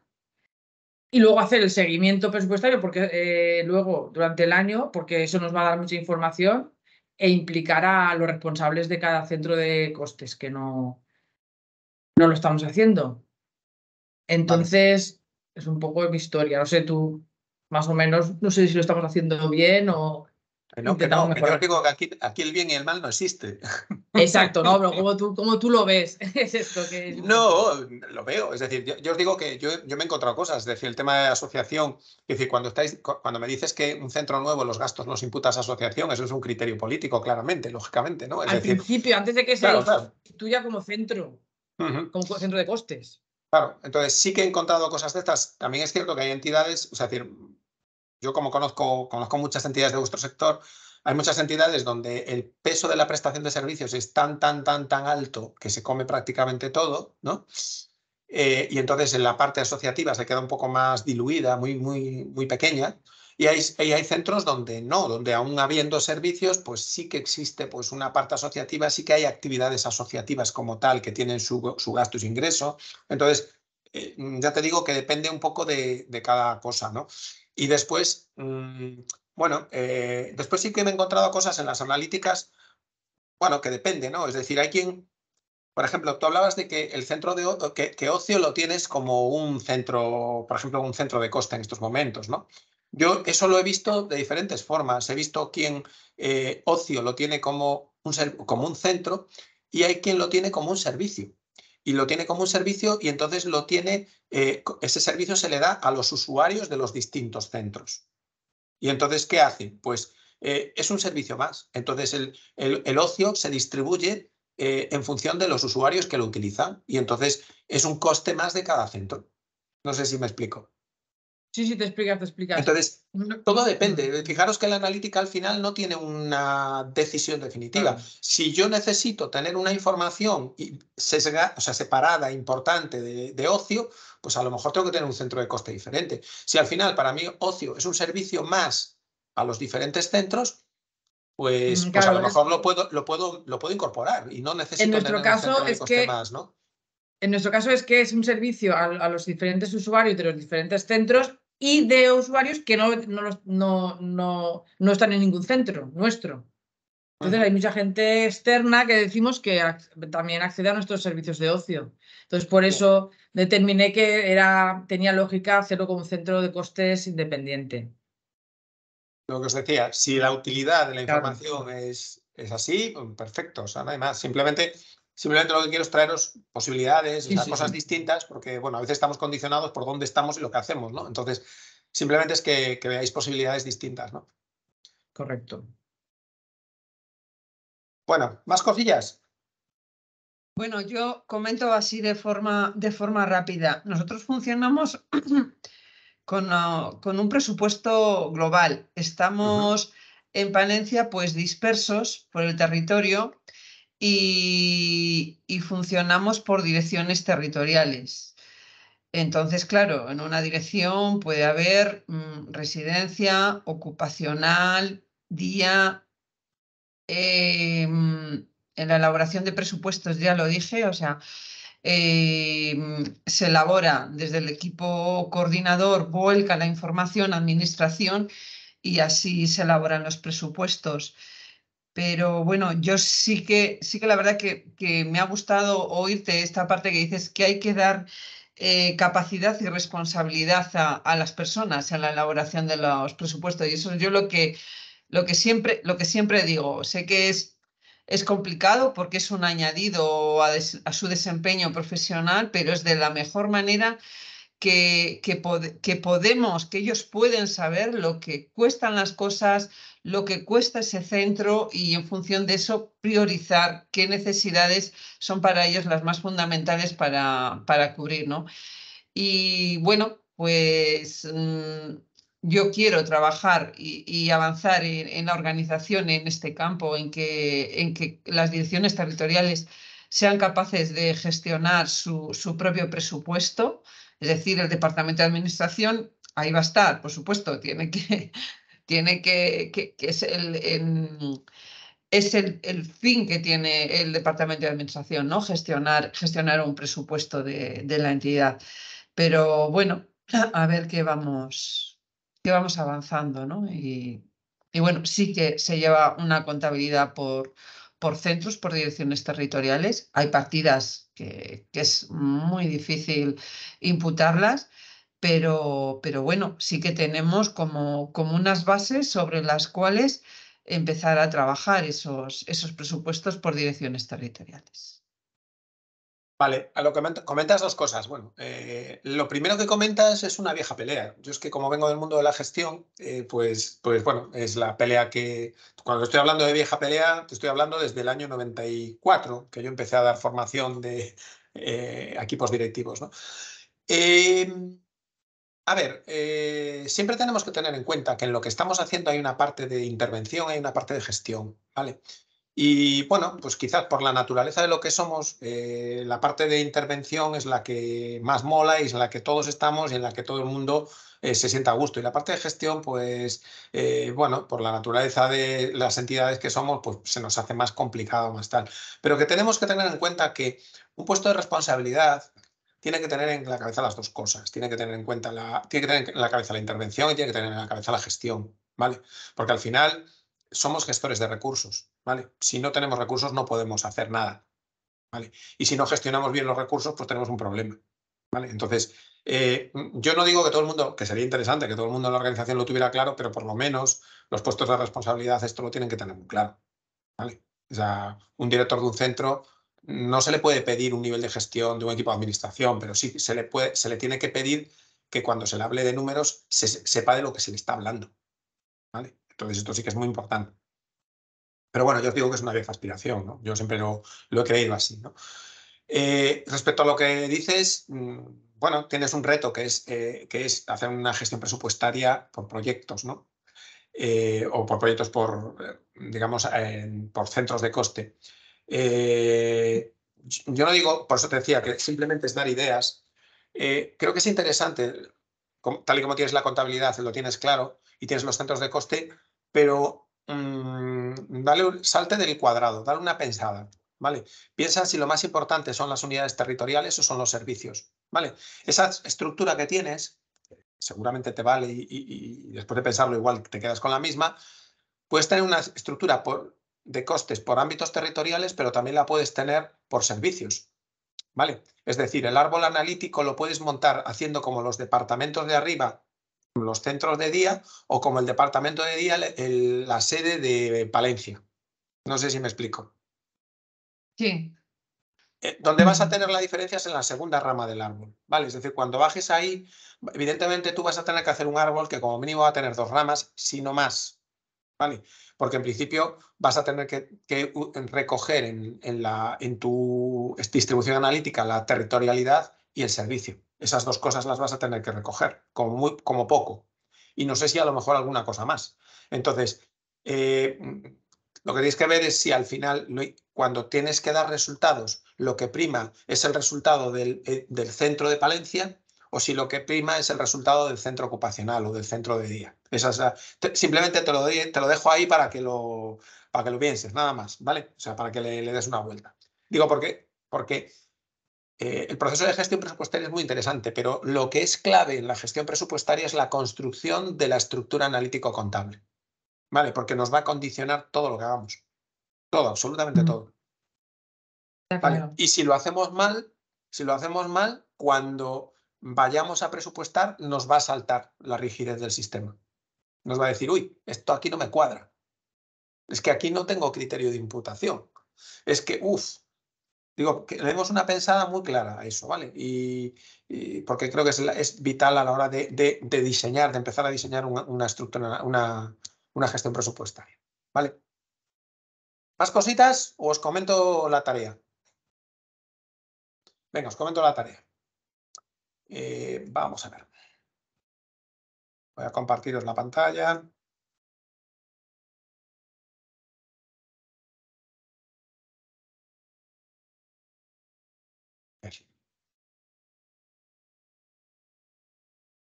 Un segundito.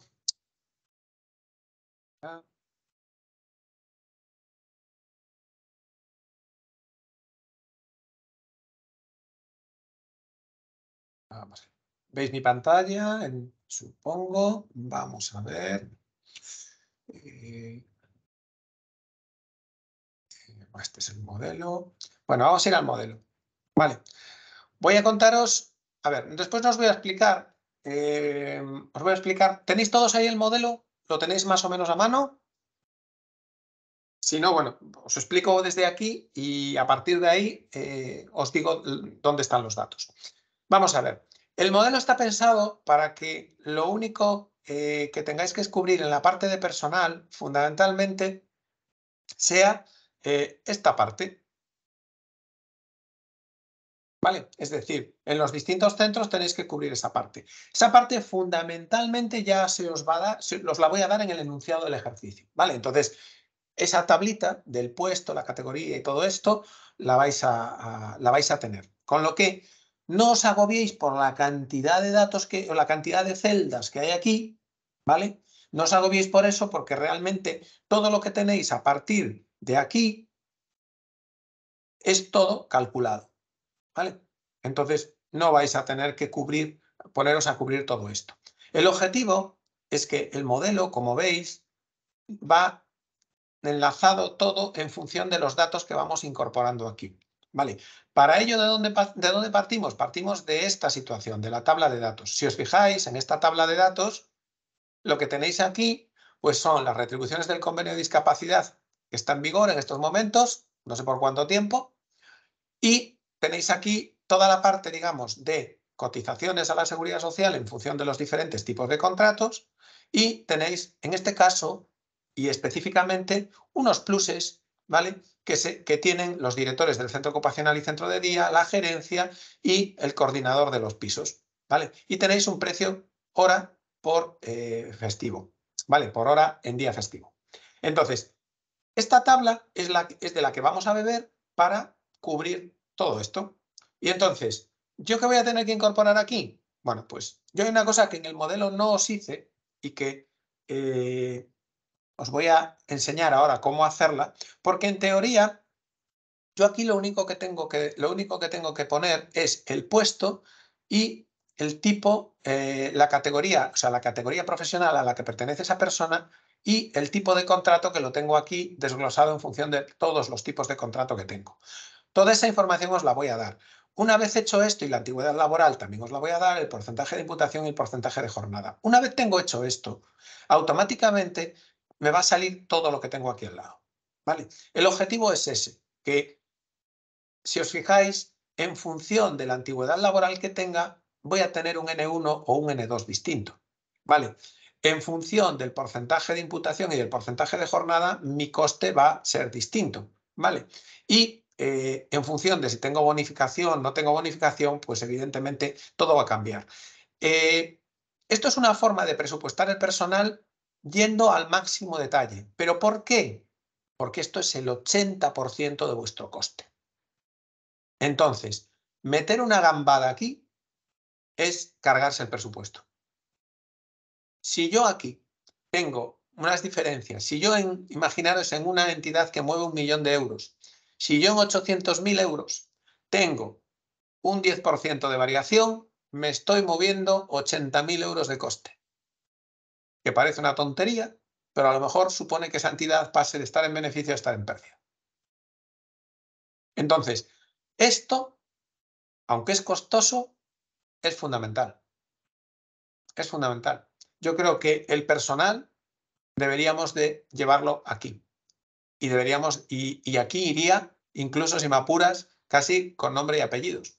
Yo pongo puesto, ¿vale? Pero yo en los presupuestos que hago con las entidades, esto no pone puesto, pone Pedro Pérez González. ¿Vale? Porque al final yo tengo a Pedro Pérez González que lo tengo en una categoría con un contrato, con una antigüedad laboral, con una imputación y una jornada. Y a lo mejor lo tengo de baja. ¿Vale?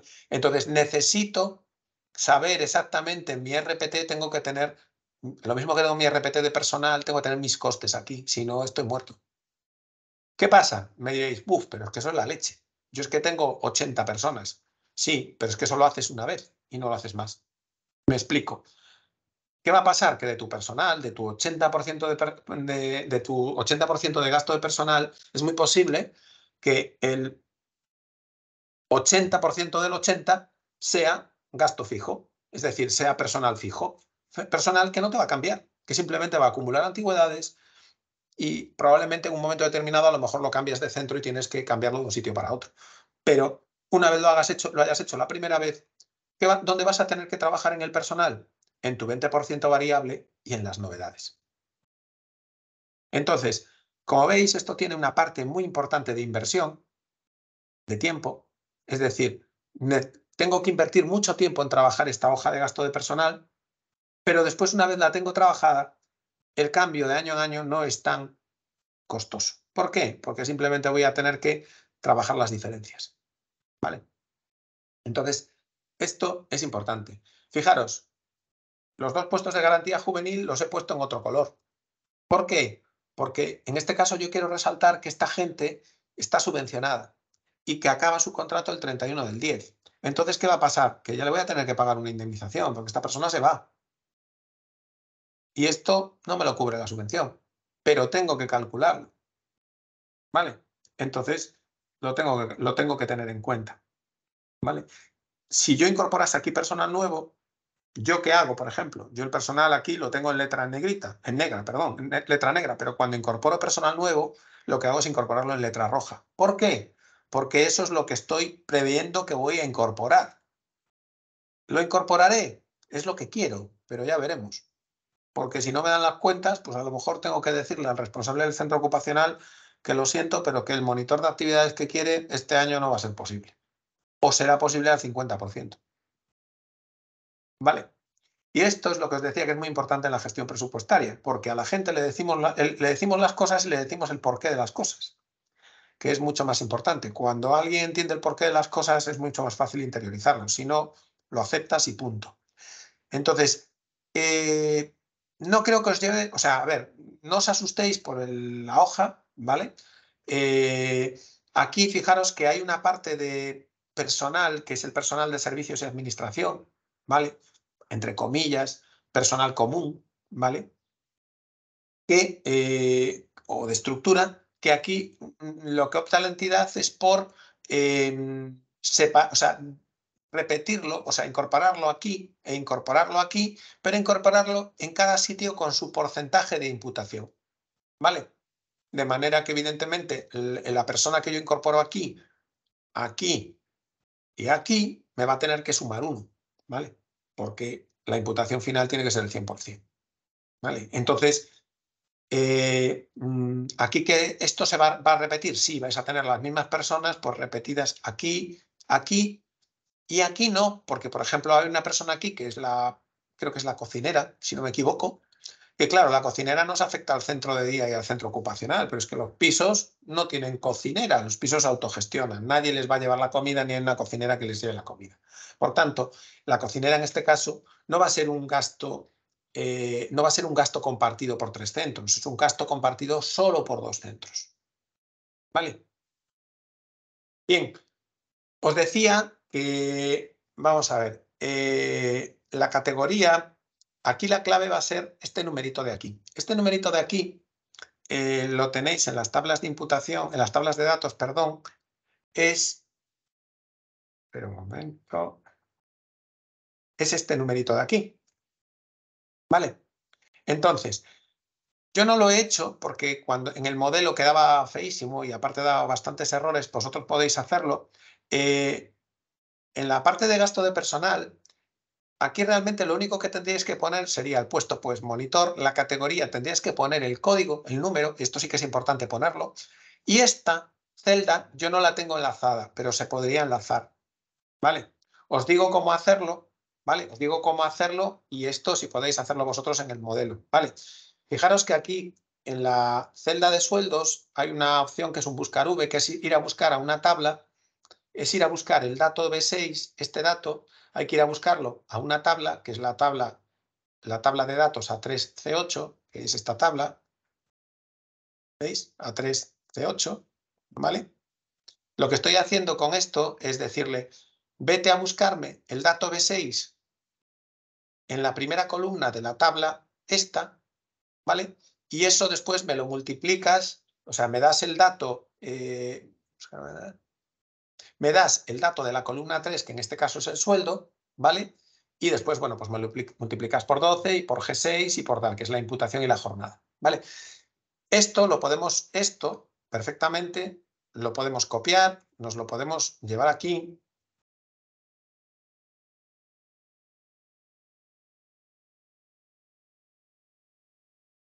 ¿Vale? Y podemos hacer lo mismo, simplemente que aquí no tenemos que multiplicar nada porque no estamos calculando ningún salario, ¿vale?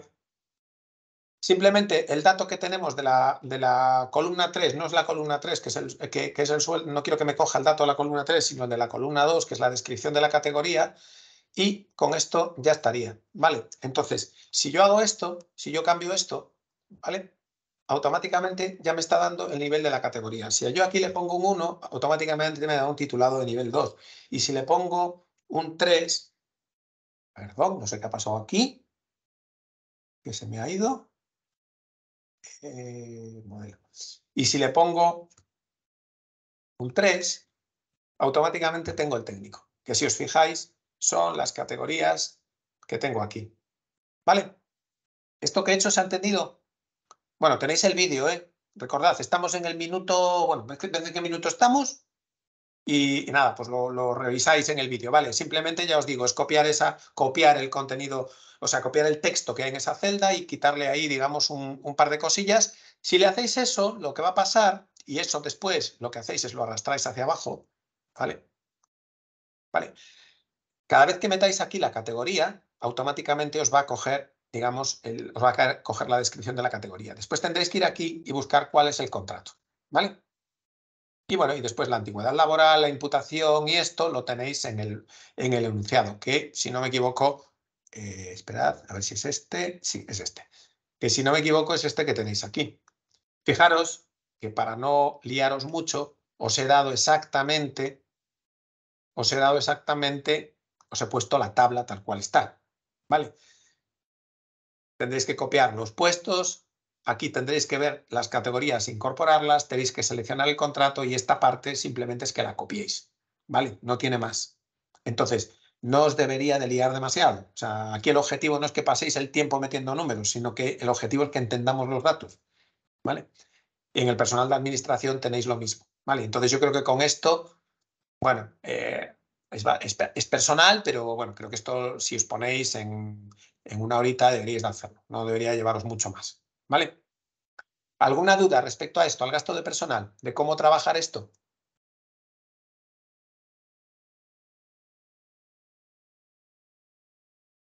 ¿Se me entiende bien?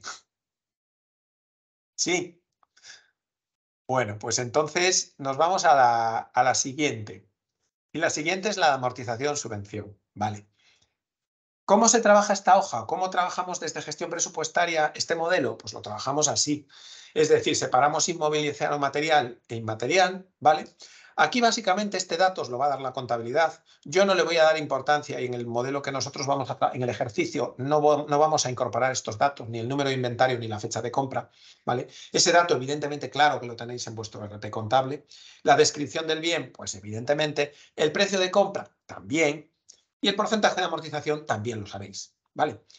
Y también sabéis, porque os lo tendrá que dar vuestro RP de gestión, ¿Cuál es el porcentaje, cuál es la, el valor neto contable o la parte del bien que queda pendiente de amortizar en el ejercicio, al final del ejercicio anterior al que estáis presupuestando? Es decir, si yo estoy presupuestando el ejercicio 2023, tengo que saber cuánto me queda pendiente por amortizar del ejercicio 2022. ¿Por qué? Porque si ya está totalmente amortizado, no lo puedo seguir amortizando. ¿Vale? O si resulta que estoy en el último año de ejercicio y me queda ahí un pellizquito, pues no lo voy a amortizar por el 25% anual del precio de compra, porque entonces estoy amortizando lo demás. ¿Vale? Entonces, importante tener este dato. ¿Vale? Yo estos datos, evidentemente, os los voy a dar. ¿Vale? A partir de aquí, una vez incorporemos estos datos, esto sale solo. También, ¿qué os voy a dar? Os voy a dar, os voy a dar de, este, de este bien si existe subvención y cuál es el porcentaje de subvención que ha recibido este bien.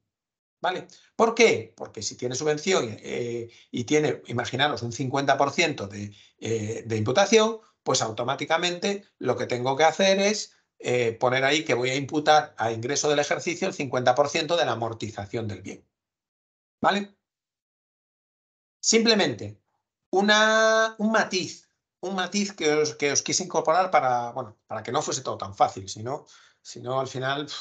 Eh, no, no tiene, no, os equivocáis en nada, algo hay que equivocarse. Eh, simplemente deciros, fijaros que dice que la, el edificio del centro de día, el primer edificio, hay un 10% que está eh, destinado o que está, eh, que está ocupado por lo que son la, asociación, ¿vale? Y que por tanto, pues se dice que hay un 10% de la amortización de, ese edificio que se va a asignar como gasto asociativo. Tenedlo en cuenta. Y después, simplemente que prácticamente todos los bienes que, estén, que están subvencionados, pues están todos, prácticamente todos, con subvenciones públicas, menos, fijaros, este de aquí, ¿Vale? El tercero, que, son, creo que son los pisos, que esto es, ha sido por una donación. ¿Para qué os doy esto? Simplemente para liaros un poco. Recordad que a nivel contable las subvenciones, las, las imputaciones de subvenciones de, de, capital van a las 745 y las donaciones van a las 746. Van en cuentas distintas. ¿Vale? Entonces simplemente es para darle un poco de rock and roll a la cuenta de resultados y que no sea todo igual. ¿no? Pero bueno, en principio, eh, quitando esto, no deberíais de tener mucha dificultad, ¿vale? Porque el resto os sale prácticamente todo. Duda respecto a la hoja. ¿Qué es lo que no se entiende? Ángel. Sí. Perdona, yo es que, a ver, en, cuando, la subvención asociada Sí. Veo yo, ¿eh? Que veo que a mí me falta una columna donde del importe de la subvención, del importe total de la subvención sí. de capital. Porque, claro, hay veces que no es, no, es, no es el 100% de la compra. A veces me da una subvención y a mí al final la compra o... Pero eso te lo doy. En es más, yo... Te lo voy a dar en el dato. Te voy a ¿Eh? decir que, te voy a decir que está imputado al 50% o al 45% o al 30%. Eso va a ser un dato. Pero importe, pero importe, importe total de la subvención, ¿dónde está? ¿Para qué? Para que, no lo, no lo necesitas. Te digo por qué. ¿Cuánto por cien? No, no lo vas a necesitar. Sí, por favor. Y te digo, y te digo el por qué. Porque normalmente, y esto en un momento dado, si queréis, si os interesa, os puedo dar un modelo de, de, ficha de subvención de capital. Yo cuando trabajo una subvención de capital, imagínate que me han concedido una subvención pues, para un edificio de un, de, que, me costa, que me cuesta pues, mil euros, ¿no? Bien, y, de esa y, ese edificio, pues me han concedido dos subvenciones. Una por 500 eh, euros y otra por 250 em, euros. ¿Vale? Mm. Bien. ¿Yo qué voy a hacer? Yo voy a generar, yo lo que hago es generar una ficha. O sea, normalmente lo que se suele hacer es generar una ficha por cada subvención. Es decir, yo, en una yo tengo una ficha de subvención que os puedo, os puedo enseñar un ejemplo, si lo queréis ver, ¿vale? Eh, yo, yo, tengo una ficha de subvención donde cojo y digo, y digo, vale, ¿cuál es la quién me ha dado la subvención? Organismo que me lo ha dado, fecha de tal, cuenta contable en la que la voy a ubicar, la 130 famosa, ¿vale? Y después tengo, y después de esa subvención, y debajo tengo la relación de los bienes que están incorporados a esa subvención, que puede ser uno o puede ser 25. ¿Vale? Bien, entonces tengo una relación de bienes. Esa relación de bienes lo que va a sumar es el importe, digamos, que yo he incorporado a la hora de justificar esa subvención, ¿no? En muchos casos, pues es lo que me decías, igual me dan el 50%, pero yo tengo que justificar el 100 para que me den el 50. ¿Vale? Entonces, yo pondré esa relación. ¿Qué va a pasar en mi caso? Bueno, pues en mi caso, este es un caso muy simple que te estoy contando. En mi ficha de subvención, ¿qué aparecerá? Pues aparecerán los datos de la subvención, aparecerá eh, pues en este caso, el importe que me han subvencionado y en la relación de bienes solo tendré un bien que será la compra de mi centro, o sea, la construcción de mi centro de día y, ahí tendré mil euros, ¿vale? Mi subvención quedamos en que la primera era de 500. Hasta aquí me sigues, ¿no? Sí, sí. Bien, vale, pues ¿qué va a pasar? Pues que 500 respecto a 1000 es el 50%, ¿no? Sí. Me da igual el año que esté amortizando yo siempre tengo que imputar el 50% de la amortización de ese bien. ¿Me entiendes? Sí, sí, Me da igual cuál, cuál, haya sido el importe inicial, no lo necesito, porque sé que de la, de la amortización que tengo cada año de ese bien, el 50% está subvencionado por esta subvención. Por eso no necesito el importe, ¿sabes? Porque si yo te estoy diciendo que en el, en el ordenador X que he comprado eh, se me ha subvencionado un 75%, eso quiere decir que de la parte de amortización que yo eh, genere, el 75% lo tengo que imputar en subvención de capital. Sí, sí. Vale. Pero como aquí en la columna, una columna de pone porcentaje de imputación, y Claro, ese eso os lo voy a dar. porcentaje se te- ¿eh? Eso os lo doy como dato. Vale. O sea, a ver, ahora os enseño el ejercicio para que veáis Yo lo pensaba que... que ese porcentaje se, tiene que, se tenía que sacar eh, con respecto al- al por- a, la, a la subvención total. en para vuestra... sacar lo que se eh, lo que se traslada al ejercicio. Eh, sí, pero es que lo que se traslada al ejercicio, es decir, tú ese, ese cálculo lo haces el primer año que compras el bien. ¿No? El primer año que tú compras el bien, a ver, te voy a, os voy a enseñar un ejemplo, a ver si tengo uno por aquí de alguna... Es, es la imputación. Os voy a enseñar un ejemplo de... A ver, a ver si... Cancela, espera un momentito. Voy a enseñaros un ejemplo para que veáis cómo, cómo, bueno, cómo trabajamos nosotros esto y supongo que de alguna forma vosotros lo hacéis igual. O sea, seguramente no con la Excel que yo os voy a comentar, pero, pero bueno, eh, de otra forma, seguro. Vale, espera un momento. Entonces, vamos a ver. Eh, déjame entrar aquí.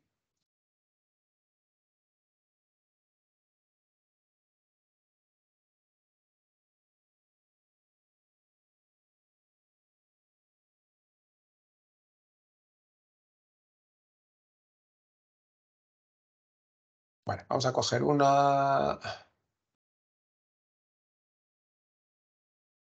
Vale, vamos a coger esta, por ejemplo. Vale. No os asustéis, es que esta tiene muchas cosas. Perdón.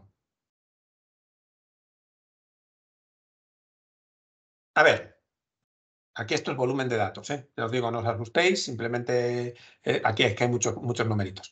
Eh, por ejemplo, esto es una subvención concedida, que ha sido una concedida por 2.757.000 euros, ¿vale? Y está en una, cuenta contable que es la 13022. Esto lo veis todos, ¿no? ¿Lo estáis viendo? Sí, ¿no? No. No. Sí, yo sí lo veo. Ahora. Sí, sí, sí, sí. Vale. Bueno, esto es una sí. ficha, una ficha, en este caso muy grande, ya os digo, no os asustéis porque tiene muchos números, pero son solo volumen de datos nada más, de cómo se trabaja, o sea, de cómo podemos trabajar una subvención de capital. Bien, tengo la fecha de concesión, tengo el importe de concesión, tengo la cantidad imputada que normalmente coincide, ¿vale? Y tengo la cuenta contable. Bien, esto quiere decir que me han concedido 2.757.000 y lo voy a imputar, eh, lo voy a imputar eh, de esta forma. Vale. A partir de aquí, pues yo tengo todos los bienes que yo he incorporado a esa subvención. ¿Vale? Tengo un montón de ellos que suman, evidentemente, en este caso suman el 100% de la, del importe de la subvención, porque en este caso me lo han subvencionado al 100%. Pero podría, aquí esto podría no ser el 100%, podría ser el eh, 50%. ¿Me explico? Entonces, ¿qué va a pasar? Sí. Que yo todos estos bienes, como veis, si yo me voy aquí, tienen su tabla de amortización. Todos estos bienes se amortizan en todos estos años. ¿Vale? No es 22, 23, 24, 25. Todos los años tienen esta amortización. Con lo que, ¿qué va a pasar? Que yo al final del año 22, los, la amortización de los bienes que he incorporado en esta subvención suma pues 137.000 euros. ¿Vale? Bien. ¿Y yo qué sé? Sé que de esos 137.000 euros, en este caso, están todos subvencionados. Es decir, de esta amortización, el 100% lo tengo que llevar a ingreso. Pero podría no ser el 100%, podría ser el 40%, o el 50%, o el 60%. ¿Por qué? Porque a lo mejor, imaginaros que fuese un bien muy grande. A lo mejor ese edificio está subvencionado por cuatro subvenciones a la vez. Entonces hay una subvención que me subvenciona el 25% del bien, otra el 50%, otra el 75%, lo que sea. Entonces solo tengo que de esa subvención imputar la parte que le corresponde. Por eso el porcentaje es tan importante. ¿Vale? Evidentemente ese porcentaje tú lo calculas la primera vez que te acercas a la subvención. Es decir, en el momento que tú creas la subvención es cuando tienes que saber exactamente de todo lo que va incorporado en esa subvención, de todos esos bienes, eh, cuál es el porcentaje de subvención que tienen. Pero una vez lo determinas al principio, esto ya te vale para siempre, hasta que se acaba. No sé si me he explicado. Sí, sí, sí. Yo eso lo comprendo. Mm. Bien, pues en el ejercicio nos pasa lo mismo. Es decir, ¿qué va a pasar? Que yo lo que te voy a dar, yo no te voy a dar toda la ficha y todo para que calcules todo eso. Lo que os doy es básicamente el porcentaje de imputación que tengo que llevar. Es decir, si yo de aquí amortizo X, imagínate que yo le pongo, vamos a hacer, yo le pongo que esto es un 25%. Eh, vale, pendiente de amortizar la amortización 2014 menor. Bueno, es que aquí tengo que meter la fecha, pero imaginaros que aquí, bueno, aquí sale, cuando metéis los datos sale perfectamente. Lo que pasa es que me falta la fecha de compra y me faltan algunas cosas. Eh, cuando meto, cuando meto aquí el porcentaje, o sea, cuando yo calculo, aquí me va a salir, pues imaginaros que, la amortización son 50.000 y que la distribuyo entre el centro ocupacional 40.000 y el centro de día 10.000, y tengo aquí que tengo que, que, que este bien ha sido subvencionado en un 50%, pues lo que va a pasar es que yo aquí lo que voy a tener es pues eh, que de la, la, subvención que tengo que traspasar va a ser el 50% de la cantidad amortizada de esta. ¿Vale? Y por tanto, ¿qué pasará? Pues imputaré también, en función del criterio que tengo aquí, pues imputaré a los diferentes centros de coste la parte que me toca. ¿Vale? Más o mm. menos. A ver, no os preocupéis, con, lo, que os voy a dar, os va a llegar. ¿Vale? O sea, no faltan datos. Eso, quedaros tranquilos. Entonces, a ver, aquí, ¿qué os voy a dar? Pues os voy a dar la tabla de amortización, ¿vale? Os, doy la tabla de amortización para que sepáis qué porcentaje hay que ocupar, hay que dar. Después, os doy esos dos matices, pues os digo que del centro, del centro de día está compartido tareas asociativas, por lo que se imputa un 90% al centro de día y un 10% a asociación. Los elementos comunes a los tres centros se imputan por número de usuarios. Ya tenéis el criterio de imputación en la tabla, ¿vale? Número de usuarios. Y los elementos comunes al centro ocupacional se importan, centro ocupacional y centro de día, se imputan por número de usuarios de estos dos centros, no de todos, ¿vale? Sino de estos dos centros. ¿Dónde tenéis eso en el modelo? Pues como veis, lo tenéis aquí, ¿vale? Aquí tenéis el porcentaje de imputación cuando se imputa a todos los centros y aquí tenéis el porcentaje de imputación sin los pisos. ¿Vale? Con lo que, facilito. Y después, ¿qué, nos da? Pues nos dice, nos dice que para el año 23 se van a realizar las siguientes inversiones recogidas en la siguiente tabla adjunta. ¿Vale? Y aquí ya os doy la pista de a qué centro va la, la, la inversión. Pues se va a comprar maquinaria en el centro ocupacional. Y la vamos a comprar el 1 de julio, porque van a ser seis meses nada más. Y este va a ser el precio de compra y va a estar subvencionado al 75%. ¿Vale? Es decir, os doy todos los datos para que podáis incorporar estos nuevos elementos. ¿Vale? Y aquí os doy, como anexo 1, os doy la tabla, que como veis es muy parecida a la que tenéis en el otro lado. Os doy la tabla donde os digo la descripción del elemento, el precio de compra, el porcentaje de amortización, lo que es el, bueno, este, este, este, este, porcentaje no os debería haberlo dado. Soy un poco generoso además, porque yo os lo de arriba tendríais que buscar vosotros qué porcentaje le tocaría. Pero mira, ya os lo, he puesto y todo. El porcentaje de amortización, eh, el, importe pendiente de amortizar y la amortización del ejercicio 23 que os va a salir, ¿vale? Y después os queda el porcentaje de imputación de la subvención. Esto os lo doy de pista. No quiero que el porcentaje de amortización del 23 os lo doy de pista. ¿Vale? No quiero, esto os va a salir solo. En cuanto metáis los datos anteriores, en cuanto metáis esto, automáticamente os va a salir. Os tiene que salir. Y si no sale, pues avisadme, porque entonces tenemos un, tenemos un problema, algo mal, algo mal en la hoja. ¿Vale? ¿Hasta aquí más o menos claro? Esto con todo lo que os doy, que aunque os parecen muchos elementos, aquí se puede copiar y pegar muchas cosas, esto con todo lo que os doy eh, en principio, eh, bueno, a ver, lleva un ratito, pero no, bueno, no debería llevar, si lo hacéis todo junto, en, si le dedicáis una tardecita por ahí, que estéis aburridos y que no tengáis otra cosa que hacer, o digáis, jo, pues voy a, voy a ver lo que me mando el pesado este, pues en una tardecita lo hacéis perfectamente, ¿vale? No creo que os lleve mucho más, porque yo os digo que básicamente es volcar datos. El objetivo aquí no es saber si el dato está bien o está mal, es que tengamos datos para después ir construyendo el tal. Evidentemente, adicionadlo encima del presupuesto de ingresos que tenéis, ¿vale? Adicionadlo en el presupuesto de ingresos. Cuando metáis el gasto de personal de los, del plan de empleo juvenil, veréis que en vuestra tabla de ingresos automáticamente vais a tener el ingreso asociado a la subvención del plan de empleo juvenil. ¿Vale? Y ya está. Y me he pasado tres cuartos de hora. Hoy ha sido una pasada. Yo tengo que controlarlo más. Pero hoy era un día complicado. Había muchas cosas que explicar. Eh, no os lío más. Eh, mm, no sé si de lo que os he mandado queda alguna duda. ¿No? ¿Todo claro?